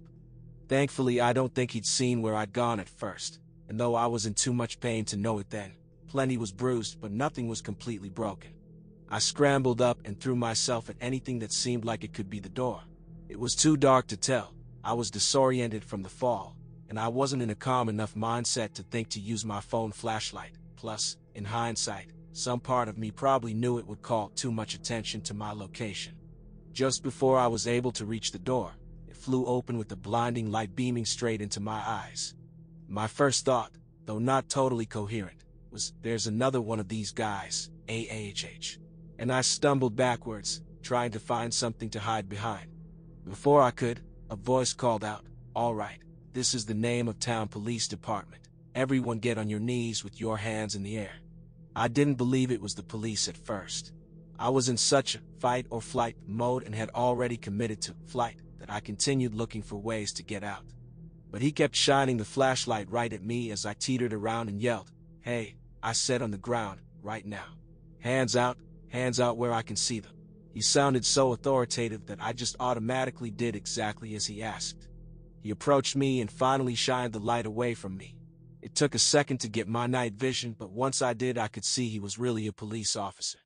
I tried to explain what was happening, but first he started asking me all these questions and that, combined with what had just happened, and my fear of the driver coming back, all snowballed into my being unable to form a single articulate sentence. He was even asking easy questions like, Can you tell me your name? Do you have any knives, needles, or anything that could poke or cut me? Would you rather talk here or outside? And my total stunned babbling in response at first led him to believe I was onto something. He directed me out to his car, and once I was safely out of the building, I was able to start getting my bearings just a little. I sat on the edge of the back seat of the squad car, with the door open facing out, while he stood across from me and asked the same questions again. The first thing I could think to ask was, Did my friends call you? What did they tell you?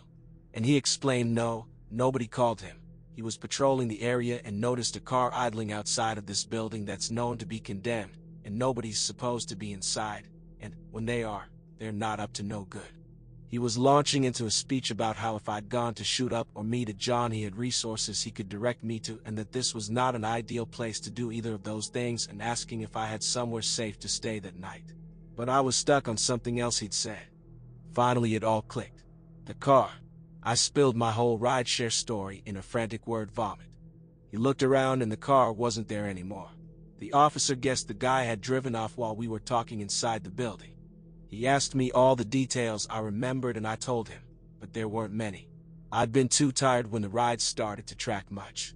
But the officer realized I could pull up my Uber app and get all the information. There wasn't really enough reception there, even outdoors, so we sped down the road and once I had enough bars, the app roared to life and I had four missed notifications from Uber. They said, hello, I've arrived. And I don't see you.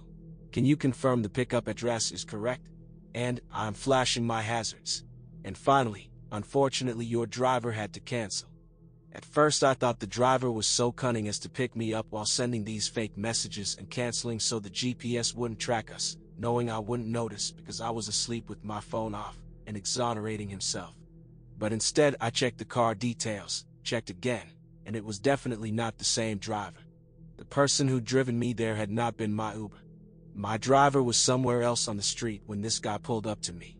The policeman took my statement and said they would keep an eye out for the guy, but the best I could give them to go off of was basically young-looking Caucasian man with brown hair, sideburns, goatee, and four-door sedan, wearing a zip-up sweatshirt.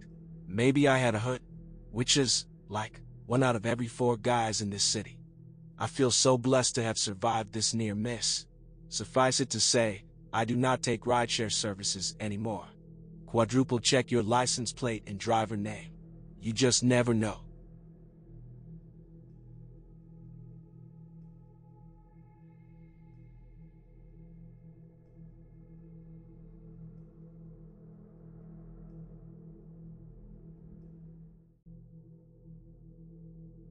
This happened over 20 years ago. I was driving back home with my girlfriend at the time. It was Christmas Eve, and my mother's family used to hold a large celebration at my aunt's house in Estacada. This was my girlfriend's first time meeting with my extended family, but she got on quite well with them. We spent the majority of the afternoon and evening talking, playing poker, opening presents, and drinking an assortment of adult beverages. My girlfriend had been quite inebriated by the time we had to leave. Therefore, I'd be driving us home. It was around 11 p.m. or so. I was driving my girlfriend's car along Highway 211. Now, this stretch of road is surrounded by farms and dense patches of forest, and parts of it are unlit. But nothing to fear, I grew up in this area, so I knew this road like the back of my hand. The both of us were just driving and talking away, just two young lovers making the most of our moment together.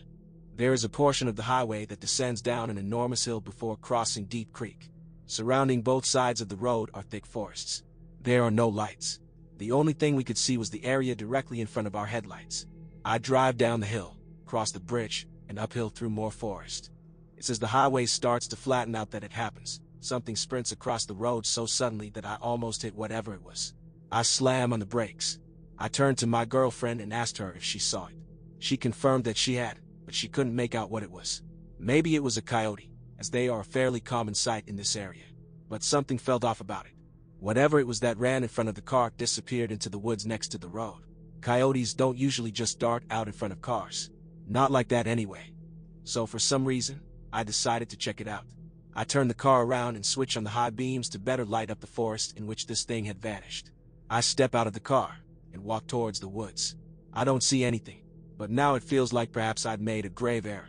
My heart is pounding, and the hairs on the back of my neck are standing at full attention but I still don't see anything unusual in the trees. Suddenly the car's horn blasts. It's not a beep beep beep that you get if, say, your driver or passenger wanted you to hurry up and get in the car. No, this was a long blaring beep. I walked back into the car and asked my girlfriend why she leaned on the horn like that.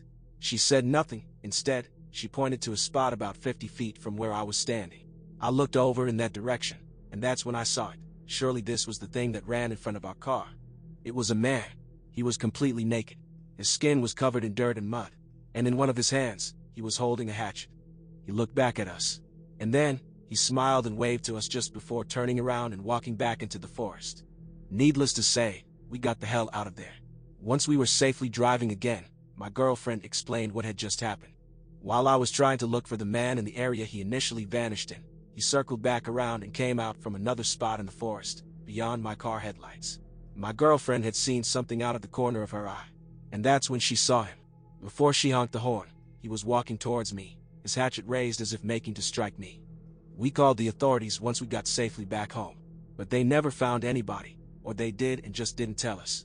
But the officer we spoke to explained his theory. The man was obviously looking to ambush unsuspecting lone travelers for the Lord only knows what reason. We all agreed that my girlfriend's quick thinking saved my life as it let my potential killer know that I wasn't alone out there. I moved back into the area recently, so I now drive that highway often. No naked hatchet man sightings yet, but I can tell you that I'm definitely extra vigilant now, especially near Deep Creek. This happened to my very close family friends on Christmas Day a few years ago. I used to babysit for this family starting around age 12 and I later house slash dog sat for the months at a time all throughout my 20s. This story is particularly creepy for me because I have spent a ton of time alone at their house. Main story. So this family is enjoying a stereotypical Christmas Day evening in the family home. It's winter and so it's dark very early. It's a drizzly, wet, foggy night outside. It's a large family and the kids are all grown, in their 20s slash 30s, most with jobs out of state. But everyone has come home to be together for the holidays. Siblings are busy playing with Christmas loot, TVs are all on, Christmas music is playing, food is being cooked and eaten, and there's a lot of laughing and talking. This goes on for many hours. The youngest daughter spots her dad standing in the middle of the courtyard outside in a black hooded sweatshirt. The hood is over his head so just his mouth and chin are visible and he's just looking in at the house. She casually calls over to her mom, who's in the kitchen, to go check on dad because it seems like he needs help with something in the yard. Except mom says dad is in the bedroom taking a nap.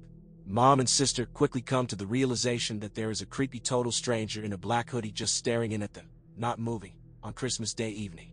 As you can imagine, the family collectively shits enough bricks to build another chimney for Santa. They proceed to alert everyone in the house, run around checking the locks on the many many sliding glass doors and windows, and wake up dad. In the meantime, Black Hoodie Creep can see everyone's movements because the house is pretty much completely glass window walls. This guy continues to just stand there in an intentionally creepy, Jason-like pose, not moving, except now he has a sinister smile on his face. It's obvious that he is enjoying being caught. At first the family thinks it might be a practical joke, The family members start to call out things to intimidate him like, if this is a joke, it's not funny. We already called the cops. We have a gun, but the guy just keeps standing there, smiling and not moving for a long time. Then suddenly, he rushes up to the glass and starts pounding on it, not saying a word, his face still obscured by the hood. Obviously, he is intentionally trying to scare everyone, if not break into the house, and now the family really does call the cops. After pounding on the glass for a good while, he runs and hops the fence near the home's trash cans and heads to the neighbors' yards. The neighbors are also good friends, so the family calls to let them know what is happening, but they never see the black hoodie man. The cops arrive within minutes, take the statements, check all the neighboring houses, but never find this guy. Not long after, the family had their courtyard area completely remodeled, including a new security and light system. The scariest bit of this story, for me, is that they have no idea how long this guy was just standing there watching them enjoy their Christmas. Bonus details. The home where this took place is in a quiet upper-class neighborhood. It's a square home with an interior square courtyard situated on the edge of a steep hill with a busy six-lane road below. It would be very difficult to climb this hill and scale the back wall to access the back porch area and even harder to escape down without falling into the traffic below. It would also be hard to exit the neighborhood, unless climbing through people's yards, without being spotted by the cops. The home is angled in such a way that the wind blows right through it, causing creak slash drafty sounds on even mildly windy days. A rustle or crunch sound would most likely be ignored. The home's layout is similar to many traditional Japanese homes, with sliding doors attached to each section of the house, leading to the square middle courtyard. Except rather than wooden panels or screens, this home is all sliding glass window hallways. If someone is in the central courtyard at night, it is very easy to see into all areas of the house without being seen due to the reflection of the lights inside. However, the courtyard does have some dull footway lighting. Home is beautiful, but they have some creepy art, including stone statues of children playing in the courtyard and a collection of cringe clown art that was so popular in the 80s. Also, their senior dog used to growl intently at empty hallways in the middle of the night, probably was just blind slash deaf, but still freaky. I was often unnerved while sitting for them, even before this happened. Home has a floor-to-roof iron front gate, impossible to climb over, and a wooden gate, possible to climb, leading to trash can storage slash adjacent to neighbor's wooden fence. These are the only access points to the central courtyard. My conclusion. This guy was a crazy ex slash old school friend playing a prank on one of the, now adult, kids, but years have passed and it was never revealed so this seems unlikely. Another conclusion. This guy had some mental problems and slash or was possibly a peeping Tom type pervert and was just having an episode. Lastly, this was a home alone type situation, where some guy was squatting in nice homes, counting on the fact that people won't be home for the holidays, and possibly decided to have some fun with this family once he was spotted. I seriously doubt this single guy was planning to actually take on a family of six plus adults. I have not stayed alone in the house since, as the dog I used to watch passed away some time ago. I would love to hear your thoughts slash reactions. Not as crazy as some people's stories, but was such a terrifying experience for me. So, a small bit of background. I'm from a small rural town set in the East Midlands in the UK, and everything is quite spread out. My mum lived on a small street on the edge of town, tucked up into the corner, with very little lighting from streetlights at the time. The council turned some off in certain areas to save money. The street was a dead end, and shaped like a T, with my mum living at the dead end at the top on the left. I'm also about 5 feet 2 inches and weighed about 105 pounds at the time. The incident happened on Christmas Eve, in 2011, so I was only 21. I was visiting home from my university up north for Christmas and had gone out with some friends from the area for a catch-up and to celebrate the season. It had gotten late and I needed to catch a taxi to get home. I didn't want to call my mom at 1 a.m. Christmas morning to come and pick me up, and it was too far to walk. My friends had all headed home, as they lived much closer to the town center. Unfortunately, I hadn't realized that the taxis were all charging double fares because it was Christmas, and had only saved 10 pounds, the usual amount it would cost me to get back, rather than the 20 pounds it was going to cost me that night. I didn't have my bank card, silly, I know, and thought that I was going to have to wake my mum up after all, when one driver pointed out that it was Christmas, so he would do it for the 10 pounds. He leant over and opened the passenger door and I climbed in. Now, in the UK, Black Hackney cabs don't really take passengers in the front seat. You're meant to sit in the back area normally. I was drunk and honestly just grateful for the ride, and didn't think anything of it. I gave him the street name and we set off. He seemed very friendly, asking how my night had been, what my Christmas plans were, and just regular chatter. At some point I mentioned that I was visiting from university and he asked what I was studying, to which I replied motorsport engineering. At this point, he became fascinated with me and what I was studying. He kept making comments about how he would never have imagined a girl as young and beautiful as me would be interested in cars, how amazing that was, that he thought it was incredible, etc., etc.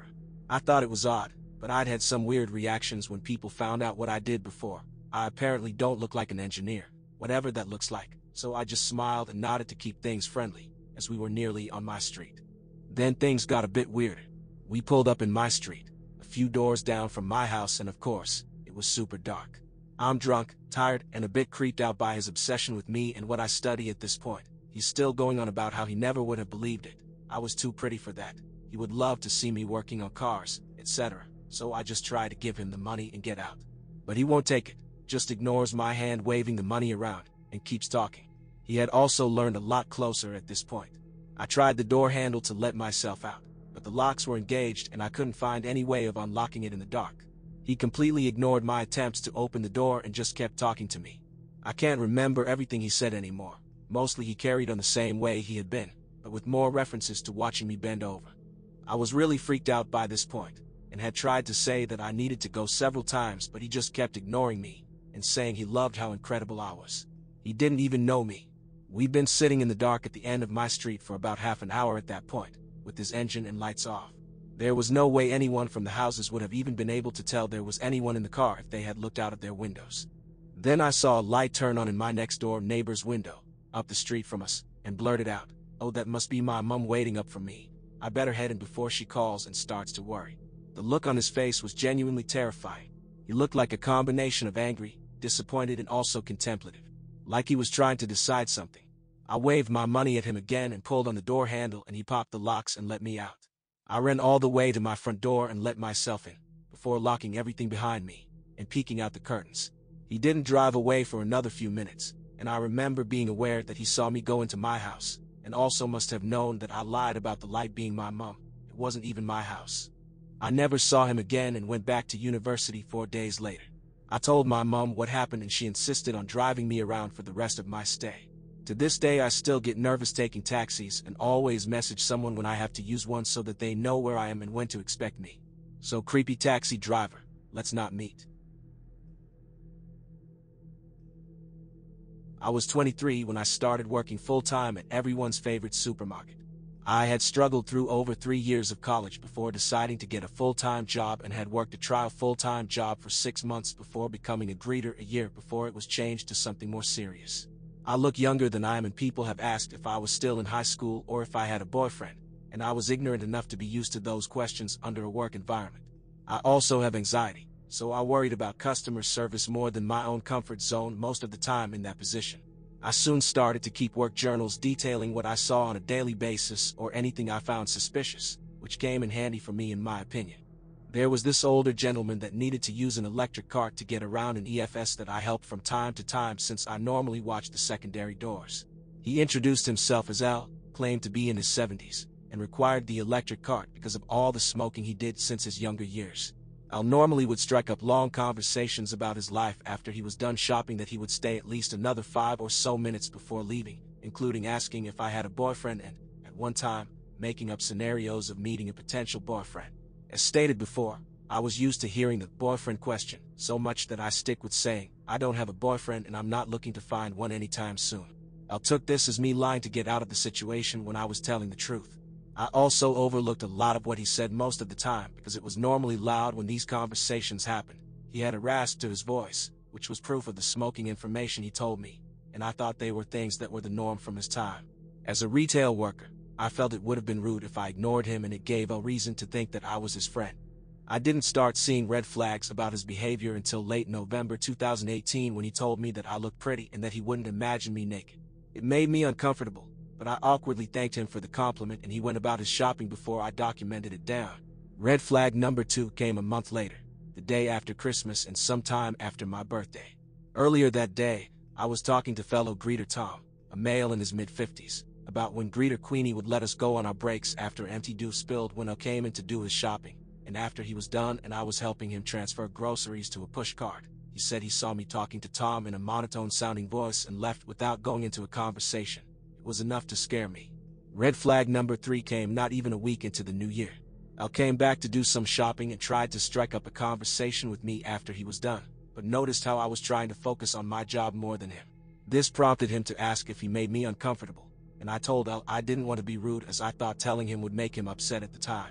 Al told me that he sees me as a friend and that whenever he comes in, he looks to see if I'm working because I'm the friendliest greeter compared to everyone else before he left. I could tell he wanted to put me at ease, but it did the opposite as I found I was right to be paranoid about him. I started to actively avoid Al if I ever saw him again and was alone at either door, acting like I was busy and having an assistant manager switch me and Queenie to different doors whenever the two of us worked alone in the morning. It worked for a month until greeter Nora came and gave Queenie her breaks when she wanted them. Come February, I'm gathering baskets when I spot Al at the register that sells tobacco and he says, hi, to me, but I ignored him and hurried away. I later asked one of my managers to use the restroom and hid in there until I couldn't hear him. Self-checkout host Dory had noticed how uncomfortable I was as Al recounted that he thought he might have insulted me because he asked if I had a boyfriend. He then told her everything he was saying to me and Dory understood why I was so uncomfortable. She later told me that Al was very vocal about me ignoring him until he left. I told two other coworkers as I was trying to catch up in my journaling as I had fallen behind in it, and they told me to escalate the situation to the head of loss prevention, Rebecca. I eventually did once I had three entries written down and marked as my evidence, and told Rebecca what I had been doing to avoid Al. I was afraid to tell anyone in management without any evidence as I was worried I'd be brushed off as an anxious worker, but Rebecca took me seriously and said I was doing the right thing by avoiding him. Since my journaling included times and dates, I was able to give Rebecca the time frame Al was most commonly coming into shop at the time, sometime between 10 a.m. to 2 p.m., closer to the end of the month, and mainly Sundays. With that in mind, I was told to keep an eye out whenever Al ever came back in and to point him out to her or her team as his actions could lead to sexual harassment of the customers as well. In March, I was surprised to see Al come in at a later time and act more professional around me, keeping things to hello and goodbye instead of trying to make conversation. Even with the change of attitude, I still kept my guard up. Near the end of the month, around 6.50 at night, Al stated how nice the weather was and asked me if I could help him out to his car with his groceries so I could take the electric cart back inside. It's EFS's policy that the electric carts stay inside to avoid any damage to them unless the customer physically can't get to the store without heavy assistance, so I politely said he had to use a push cart as the electric cart can't go outside and I'd get him one. Al was a bit insistent in taking the electric cart out and was halfway through the entryway, but I pushed the push cart close to the electric cart and politely insisted that the electric cart stay inside to avoid getting damaged from pebbles and dust that could get into the cart. Al relented for that reason, had his groceries put into the push cart and left. I was relieved that the situation hadn't escalated so I had to help him, but I did take note of his car should he get an idea to try and follow me home. That was also the only time he ever asked for me to help him outside. I eventually told Nora that I didn't feel comfortable around Al and she said that I wasn't the only young woman he had said these things to, as he said things like this to other female workers at other EFSs since Nora had transferred over from the west location in the city. A little over halfway into April, I switched over to cashiering and put together more information about Al's visits so I could try to avoid serving him by myself, coming in around the time food stamps were replenished and within the 7 to 10 days at the end of the month, mainly on Sundays and Fridays and during the 10 a.m. to 2 p.m. and 5 p.m. to 7 p.m. time frames. Luckily enough, I didn't see out after the switch. Even more coincidentally, at the start of May, I found an online article by the local newspaper with a picture of who looked to be Al in my Twitter timeline. I didn't want to get my assumptions up and had Nora look at the picture two days later. To my shock, Nora confirmed it was Al. Reading the article revealed that Al had spilled gravy on his laptop and took it into Popular Electronics to get the files recovered when the IT people found what appeared to be illicit pictures of children during the recovery and called the police. Al admitted to saving the photos and was able to describe what he saved and was arrested. The article also revealed that Al wasn't his real name, that he was really in his mid-50s and was from a nearby city in Iowa, which explained why he mainly came in on weekends. I told everyone that knew the story and they were equally shocked, but also relieved. I did research on his state laws on the charges against Al a few days after his scheduled court appearance and found that he was guaranteed at least 2 to 10 years in prison at the least and immediate registration as a sex offender. In October, I decided to do more research as it had been months and found more articles confirming that Al copped a plea deal for two years and over $600 in fines for each count against him and was sentenced in September. I had switched to another position on the sales floor by the time I found out about the sentencing. It's been over two years since then and I have my old co-workers and Rebecca to thank for giving me the fact and confidence that I do have the option to tell a customer no if I feel something isn't right, but I can't help but think about how badly things could have gotten if I had helped him out to his car and if he had other intentions in mind. It should also be noted that any electric car policies are put in place not only to maintain the functionality of the cart, but to also protect the employees from injury or other harm at any store electric carts are provided and I was lucky to enforce this policy when I did.